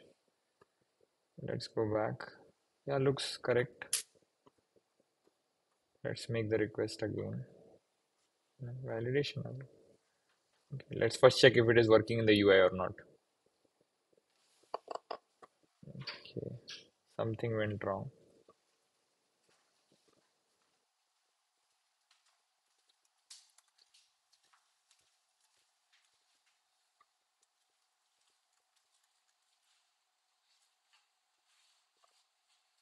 Yeah, as you can see, it is like in the UI, it is combining those two. So it is working. Emma Brown. So it took the first name, last name, just combine it. And it, in the backend, what are we doing? V2 slash document slash driver. It was this, right? Let's let's get this. No. Oh, probably that. Yeah. So we attached a body to a get request. So it's shouting. But fine, it should have said that clearly, but see full name is there. Yeah. API. So whe- wherever it does get doc, right? It will give you that. Uh, virtual fields, not in list. No. So yeah. Get lost, get all, get list don't work because it is not in the DB. It is just a virtual thing calculated on the application layer. Yeah. Mhm. Yeah, just in the user interface, it, this this name, right? This full name is not in the database. But if we want it in the database, then we'll have to do something else. That is the next step. Hmm. Other doc type as in? Hmm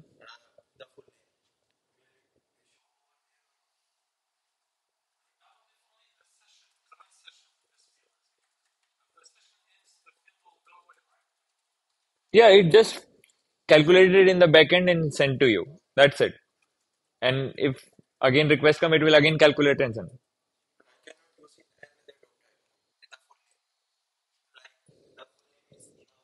Yeah.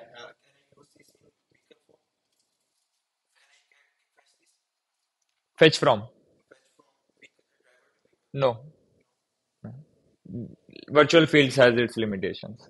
But yeah, we'll solve this using controllers. So this is quick. If you just want to display some stuff, this is fine.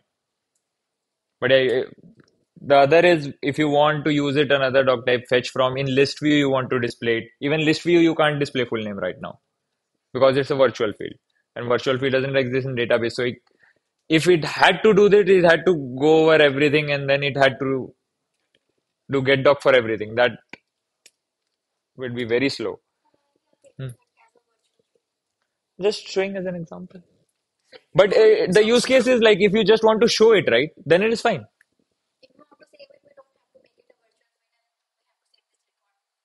Yeah, yeah. So no, no. Then you are saying about it won't automatically calculate the full name then. Yeah, no. So we have to write some script. Yeah, yeah. Let's find out.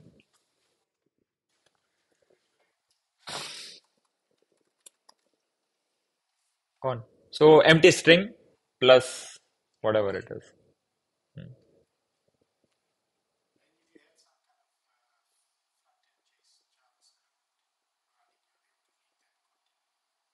Yeah, this you will be able to read. Yeah. So it once it comes in the form view, you can access it. That is also tomorrow's topic. Writing like this JS file will add some stuff and we'll find out how we can modify this form view, add custom buttons, trigger actions. Yeah. But yeah, let's solve it using the other way. Have it in the database, but automatically calculate it whenever anything changes or the first name or the last name change. In that case, you can also fetch from, you can show it in list view, anything because it's just like a normal field in database, but it gets updated automatically. So let's go back, go back. I will uncheck virtual and I will remove the options. I don't want them now. Hit save, go back. Gone, right? It's an empty field. Now it is up to us to set it. So now I'll go to the very first file that we are going to use. So where is it? That's why I don't want to have too many tabs open. Frappe is also open. Let's close that. I think this one. Rentals, yeah. So driver.py file. Remember four files got created. Driver.py, driver.js, driver.json and the last one was test driver. And similarly vehicle, when we created vehicle, the same thing should have been created for vehicle, but why?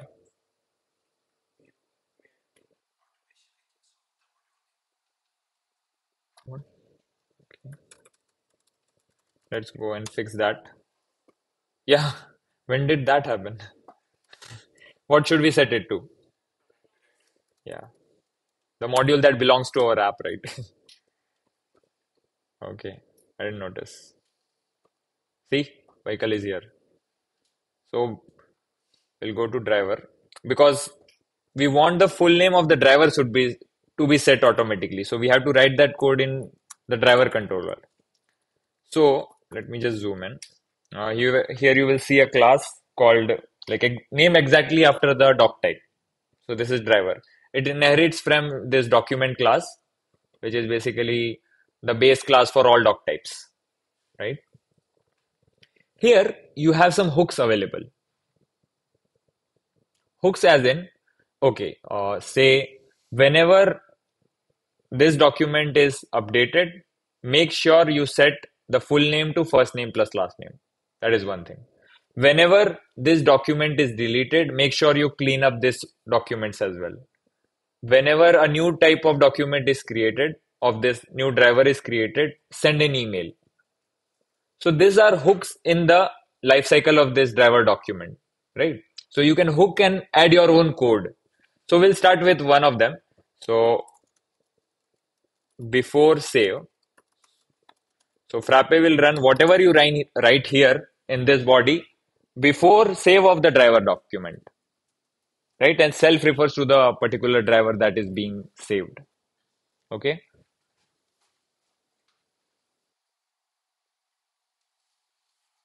Better. It's fun to touch the screen. Sure. yeah. Mm, so here we just say self dot full name equal to self dot first name plus we could have done the same thing with that we did with virtual field. That is much better. Self dot first name self dot last name. Right? Just one line. So before save just make sure you set the full name to first name concatenated with last name. That is it. Now if we go back right? Let's go back go back. Uh, should have gone to the driver list and change this to okay it was already let's change it to my name. See? Full name is getting updated now. Even if you try to do this right it will come back. Because what is happening it always runs this hooks. So it will make sure the full name is set to this. So how can we fix this user experience issue here?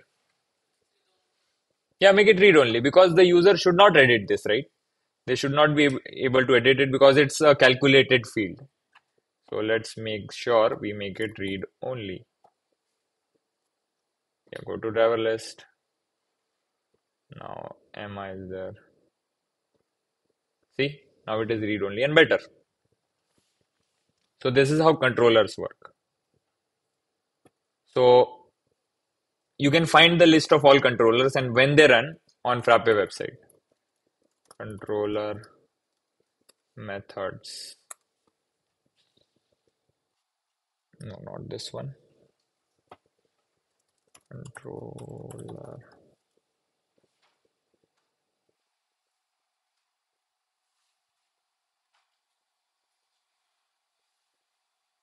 yeah this is the list so you can see there is before insert this called before the document is prepared for insertion. So this will run whenever a new driver is being created, right? Then we have before naming. So this will be called before it is given a name, that name dr002, So this is auto name. So what you can do is, suppose you have more complex requirements. Maybe you are calling an API to get the name of the doc type. You can use this auto name hook to generate your own names so suppose the expression don't suffice and you want to run your own logic to generate the name, maybe combining some attributes of the same and maybe applying some logic on that, right? So if it is an uh, you want to check the age, okay, if it, age is greater than 18, the document name should be adult zero zero one. Can be the use case, right? Just a u- simple use case that auto name hook can give you. So you can just say uh, another hook I will add auto name self. You can say if self dot age greater than zero. Naming series this. So naming series is also a concept. Today's assignment you will find it. So I'm not telling the solution now, but yeah, this was auto name. Uh, before validate, validate, before save is there, and here uh, you can see when it runs, which part of the life cycle. So the most useful, I think, are on submit. This is called when the document is submitted. We'll learn about what submit submittable doc types are tomorrow. Uh, on update, so whenever something changes in the document. Uh, similarly, you have on trash. This runs when a document is being deleted, and after delete, when the document is already deleted. Okay, so you can find the list here. You can play around with it, right?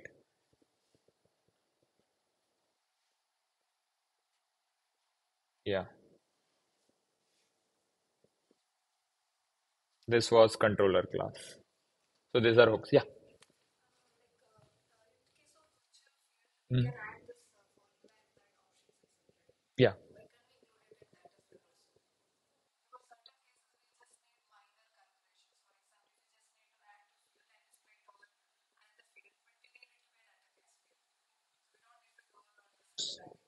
There is like this can be a huge feature in Among itself. Yeah.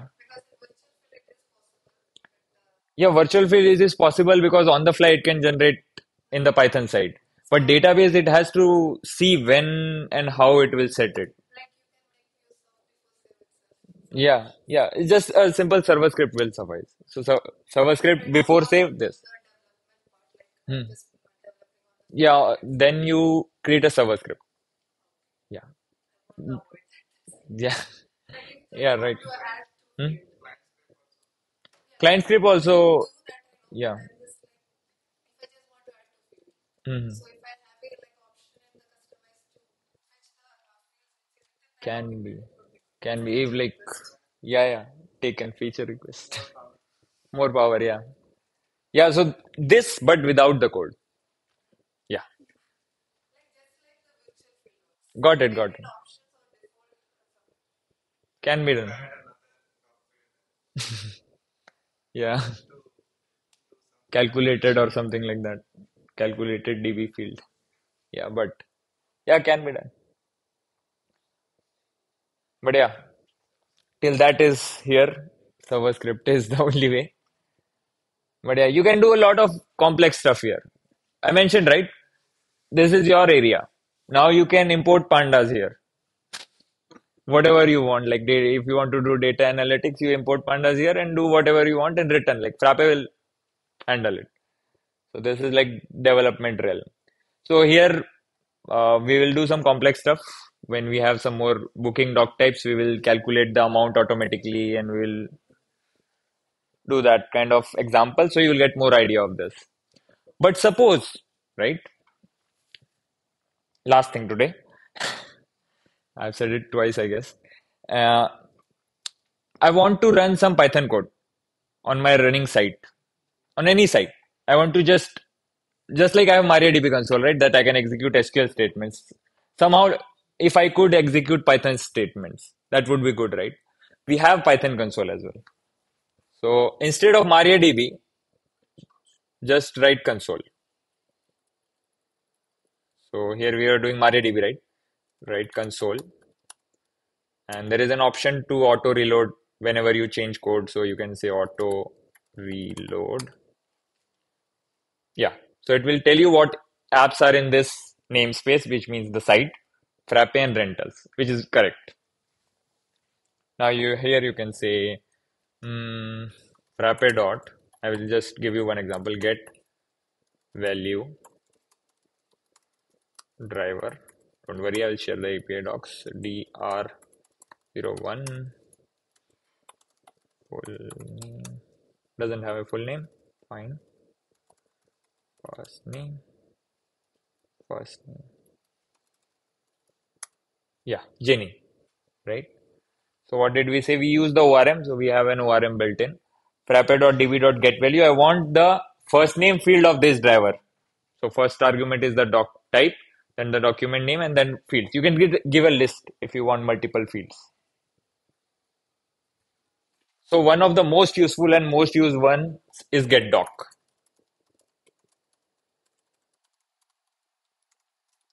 driver dr00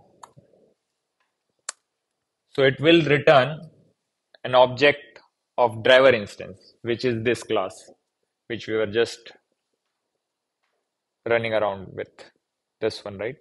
So this will create an object of this class and return.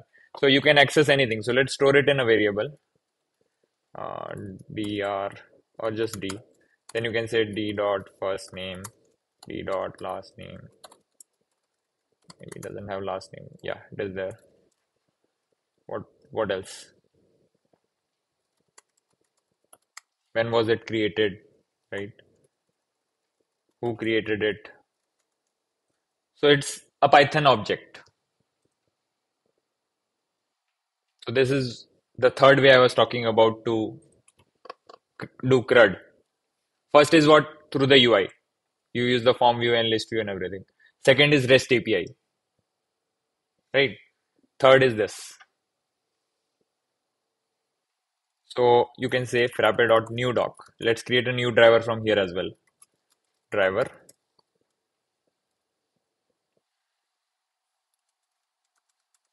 d dot first name to john d dot last name.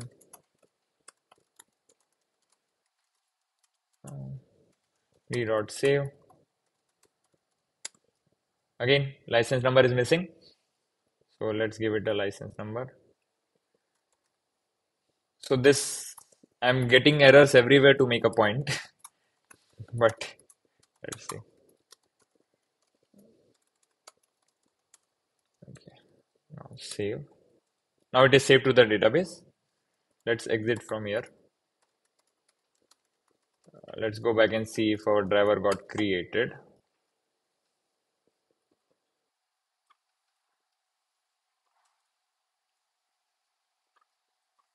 Where is it? No. He caught the issue. So whatever you do in console it doesn't auto commit some like you have to manually run. So whatever we did right? So there is something called frappe.db.commit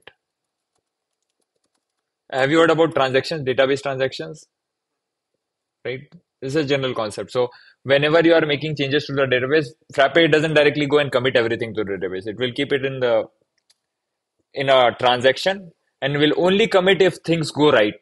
So you click the button suppose it is transferring 10000 from one invoice to the other invoice.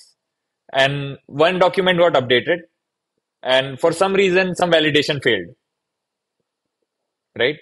So if it would have committed it it would have been issue right? Because half of the work is done and how if you try to repeat it it might cause other issues.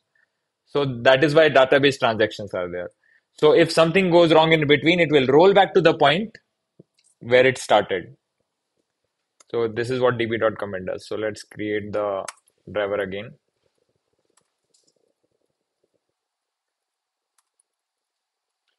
There is a better way to create new doc. I'll show you that as well because now i'm frustrated. To type this this this again. Yeah let's go back. See? Got created the top one yeah and now the better way. Use get doc but give it an object. And then give it all the fields that you want. Then just call dot insert on it or dot save also works. So in this like in single statement you can create new driver. Yeah, so I was telling that this is the same object, right? So if you have some method, okay, driver dot uh,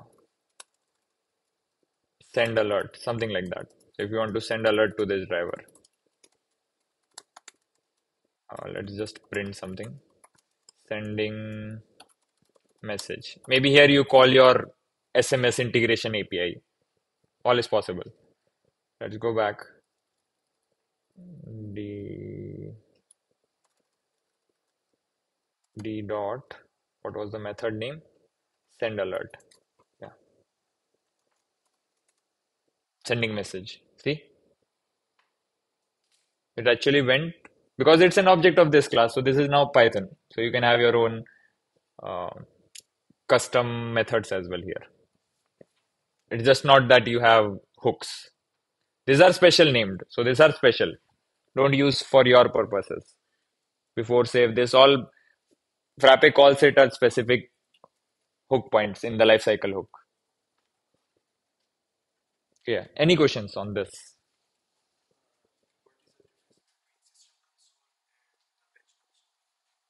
Bench console. Yeah, this system console. This is more restricted. Does the same, you can do the same things here. You can do frappe get all driver.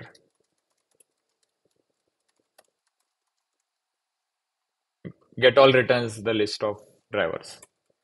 So I can print. Drivers execute. Server scripts are disabled that's fine. So you starting like recent version server scripts are disabled by default you can enable them in your bench config. Hmm. Yeah you can call so you do get doc driver and then you can call you can't import stuff so this has similar limitations as the server script on the customization side so we'll discuss this. Uh, as I was saying, like we need to discuss the customization piece and the development piece separate. So this is limited. Here you can't import pandas, right? You are not allowed to delete. In SQL query, you can't delete. Yeah. So here in this SQL, right? Like it is restricted. You can't uh, delete or change schema of the Hmm. Hmm. Mhm. go to console so you can just go to console and delete uh, because when you delete i think it first goes to deleted document and then you have to clean that that is the other way but yeah, usually delete you should delete the doc type document first not directly go in the database and wrap it because maybe it is linked to some other stuff, right? So Frappe cleans that up automatically. But if you directly go and delete in the table, uh, it won't be able to run any on trash or anything. Truncate works, but uh, not recommended uh, as long as like if you know what you're doing, then that's fine.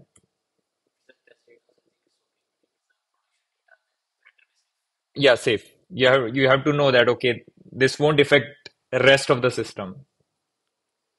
Everything works because you have the control of the MariaDB database anyways. You can go inside and yeah. So yeah, this was uh, bench console. This is very useful, by the way. Suppose you are writing some complicated logic, right? Here it was just full name equal to first name plus last name. Usually it is like see the items, any promotion is applied or not, this, that, and finally it calculates something. In that case, it is better you experiment first in the console. You can experiment it, roll back whatever you want, and then at the end you can copy that code, paste in your file. And if you want to be more sure, use the test driver.py file to write unit tests. Okay, if I am giving 10 as this value, uh, 20 as this, whether it is calculating 30 or not. So that will make sure you are not introducing bugs while adding new features. So they don't run in production. So Either you run them locally. So bench run test. There is a command. Bench. Okay, you have to exit from here. Run tests. So then you can give it a path to the test. It will run. The major, uh, like what do you say? It is only useful while you are writing test. Usually, what happens is you will integrate in the CI file. So there is a GitHub CI file. I there was a yes or no right when we are creating an app, whether you want to set up the workflow file. That was exactly what will automatically run test whenever you push to GitHub. So it created a .github folder. There is this CI file, which will, if you see closely, somewhere down the line, it will run tests. The last line, see? It is running test for rentals app. So this automatically happens in the CI. So whenever you push something new, it will automatically run. It will show you a green check if it passed or a red cross if it failed. No, installing, no. At install time, it is not run. This is just the developer's task. Some new stuff, uh, then make sure you have some tests. Yeah, whenever you're pushing to GitHub, it will run in GitHub. Yeah, I can show you an example. But it's always a good practice. If you are developing sophisticated apps, always better. Going? My, my role is I think it's over to send starting and let's see what can I do. So we take your permission. Thanks, Yeah. thanks. Bye. Yes. No, Uh, he's no, no, it won't make sense. I'm heading to Rihanna uh, for Leeds Big exhibition. So I'll keep it outside and every day. Thank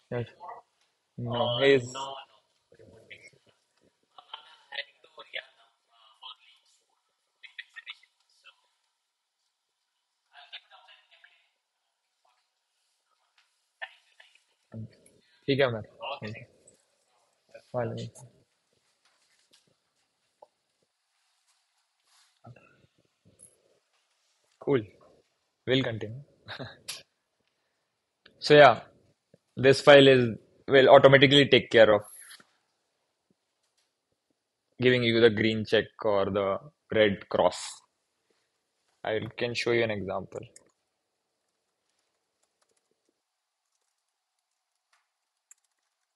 Even frappe like frappe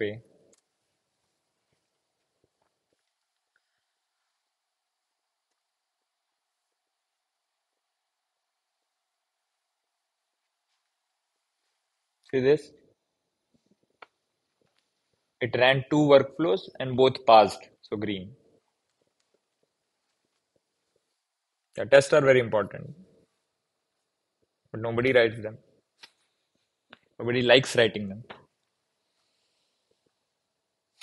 Yeah.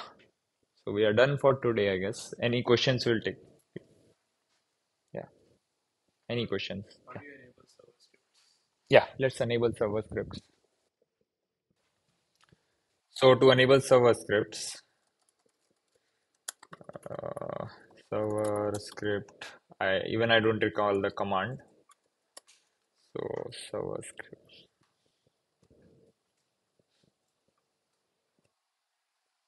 Bench set config dash global server script enabled one. So this will just do one thing uh, what this will do is remember how we enabled developer mode and it just added a developer mode one to the site config? This will do that but to Mhm. to the common site config. So I will just run this command and then I will open up here you will see somewhere. Server scripts enabled one. This you add it to your common site uh, config of the bench and it will enable bench wise so it is an, not per site the bench itself because it's in common site config so. Enabling server scripts. We'll discuss server scripts.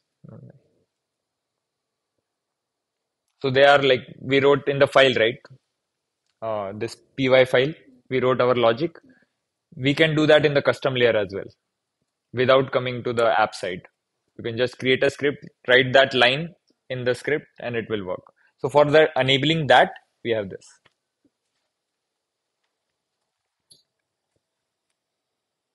So, yeah. No so public $10 sites no.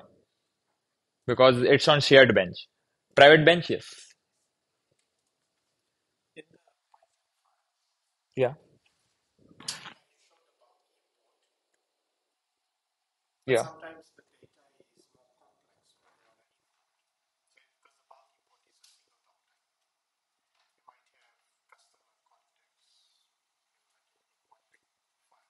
doing And then import yourself. Yeah, so you can use the bench execute method. So you, you create a file anywhere. You create a Python file anywhere, right? If you want to run your own one-off scripts, these are called one-off scripts basically. So you create a file, maybe let's create it.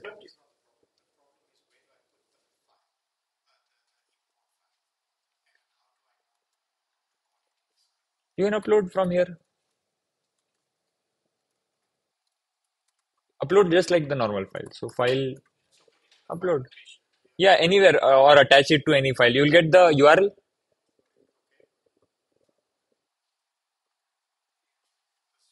This file URL, and then you can use that.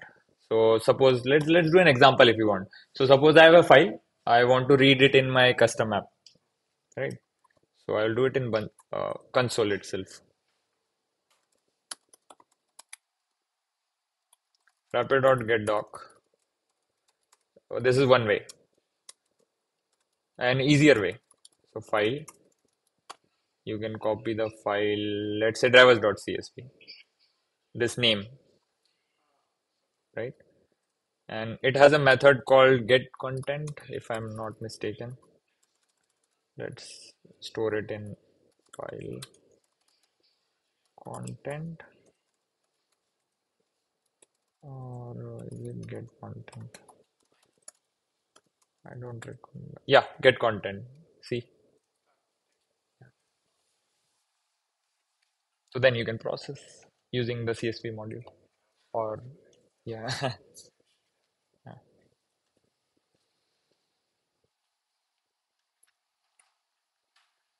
Anything else?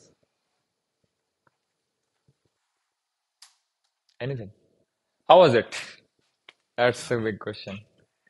Till now, did you learn something new or you already knew a lot of it? Lots of new stuff? Uh, not too hard, right? Uh, should I go slow or can we go a bit faster or is, is it fine? Is it going good? That's, yeah.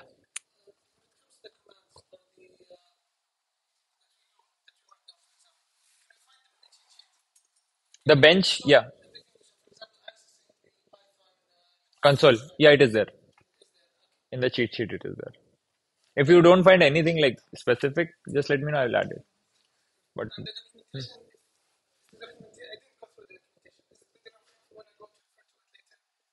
hmm, hmm. no, no, it is good enough. So I will suggest use Google search instead of the search on the website for now until someone fixes it. Uh, he he he probably I don't know. Eventually, maybe yeah.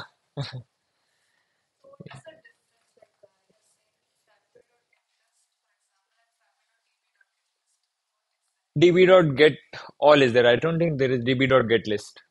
You might have seen db.get all and get all. db.get list. I have never used because get list applies permission. Db method don't apply permission. That's the difference. Does not apply permissions. Get list applies permission. Frappe.get list applies permission. No. DB dot get all doesn't. So any db method, get value, the one we saw, uh, set value, they all bypass permissions. No permissions are applied. DB, anything in DB bypasses permissions because it's for the developer realm. I haven't heard of it. Let's find out. Yeah, it is there. It is an alias to get list, I guess. No, no, no, no, no. Wait, wait, wait, wait. We'll find out. I first time. Yeah, both are different. So this applies permission and this doesn't. Like I'm guessing. This is same as get all. So let's see the code. Let's answer this. Not good code. Uh, this is not good API, but let's find out. So this is get all inside the database, get list. So let's open Frappe and find out whether they are calling the same thing or not.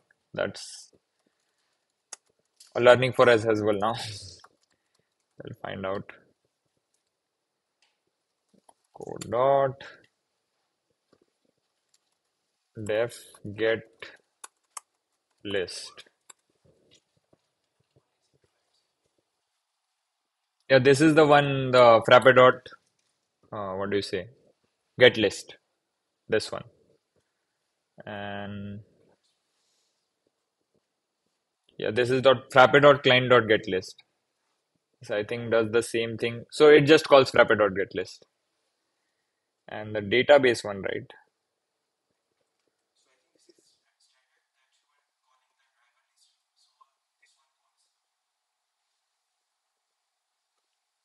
Which one?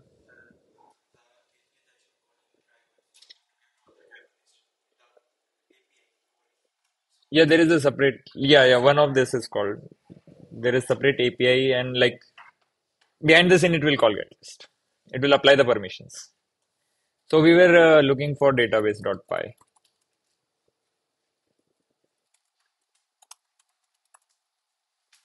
Nope.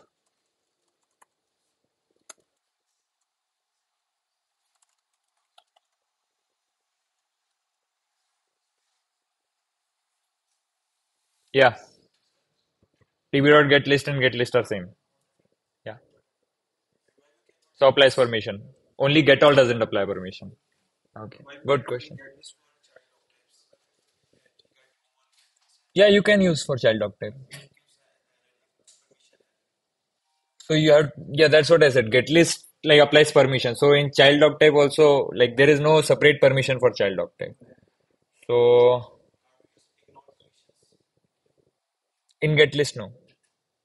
Ignore permissions is mostly used with uh, insert.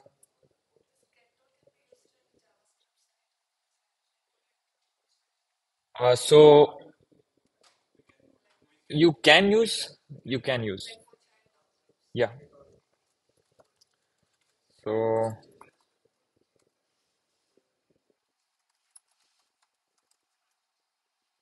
get list. I don't think get all will be available because permissions are important here. Yeah. So otherwise you can write your own API and call it. Hmm. Yeah. hmm No, no. And it is not safe as well because it runs in the client, so users have all the control this side. So it's better to restrict what we allow from here. Because get all doesn't have permission. So if someone does get all, like if they have access to get all in front end, that means they have access to everything, right? That's why get list is there and get list will check the current session ka permission.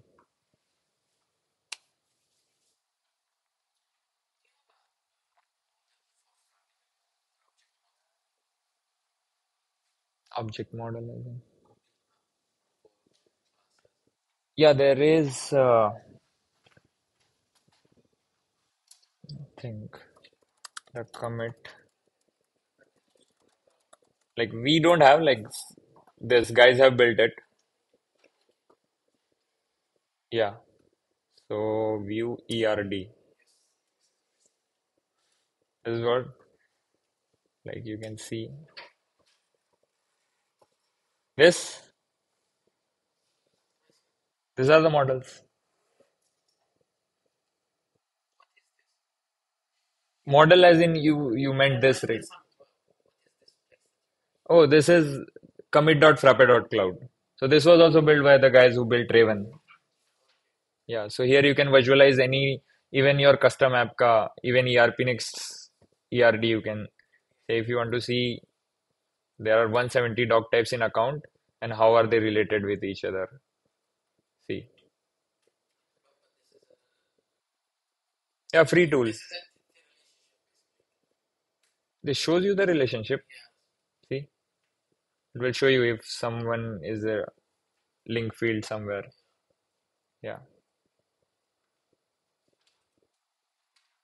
In Insights also we have now. Hmm.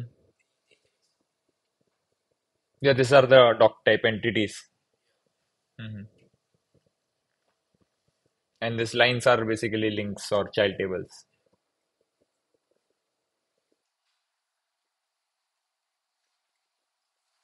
So suppose if I zoom in on this one, where is the user doc type? Tab user. Yeah. You can see if you click on one of them, it will show you uh, created on last modify. What are the permission? What are the fields? Yeah, it's a good app.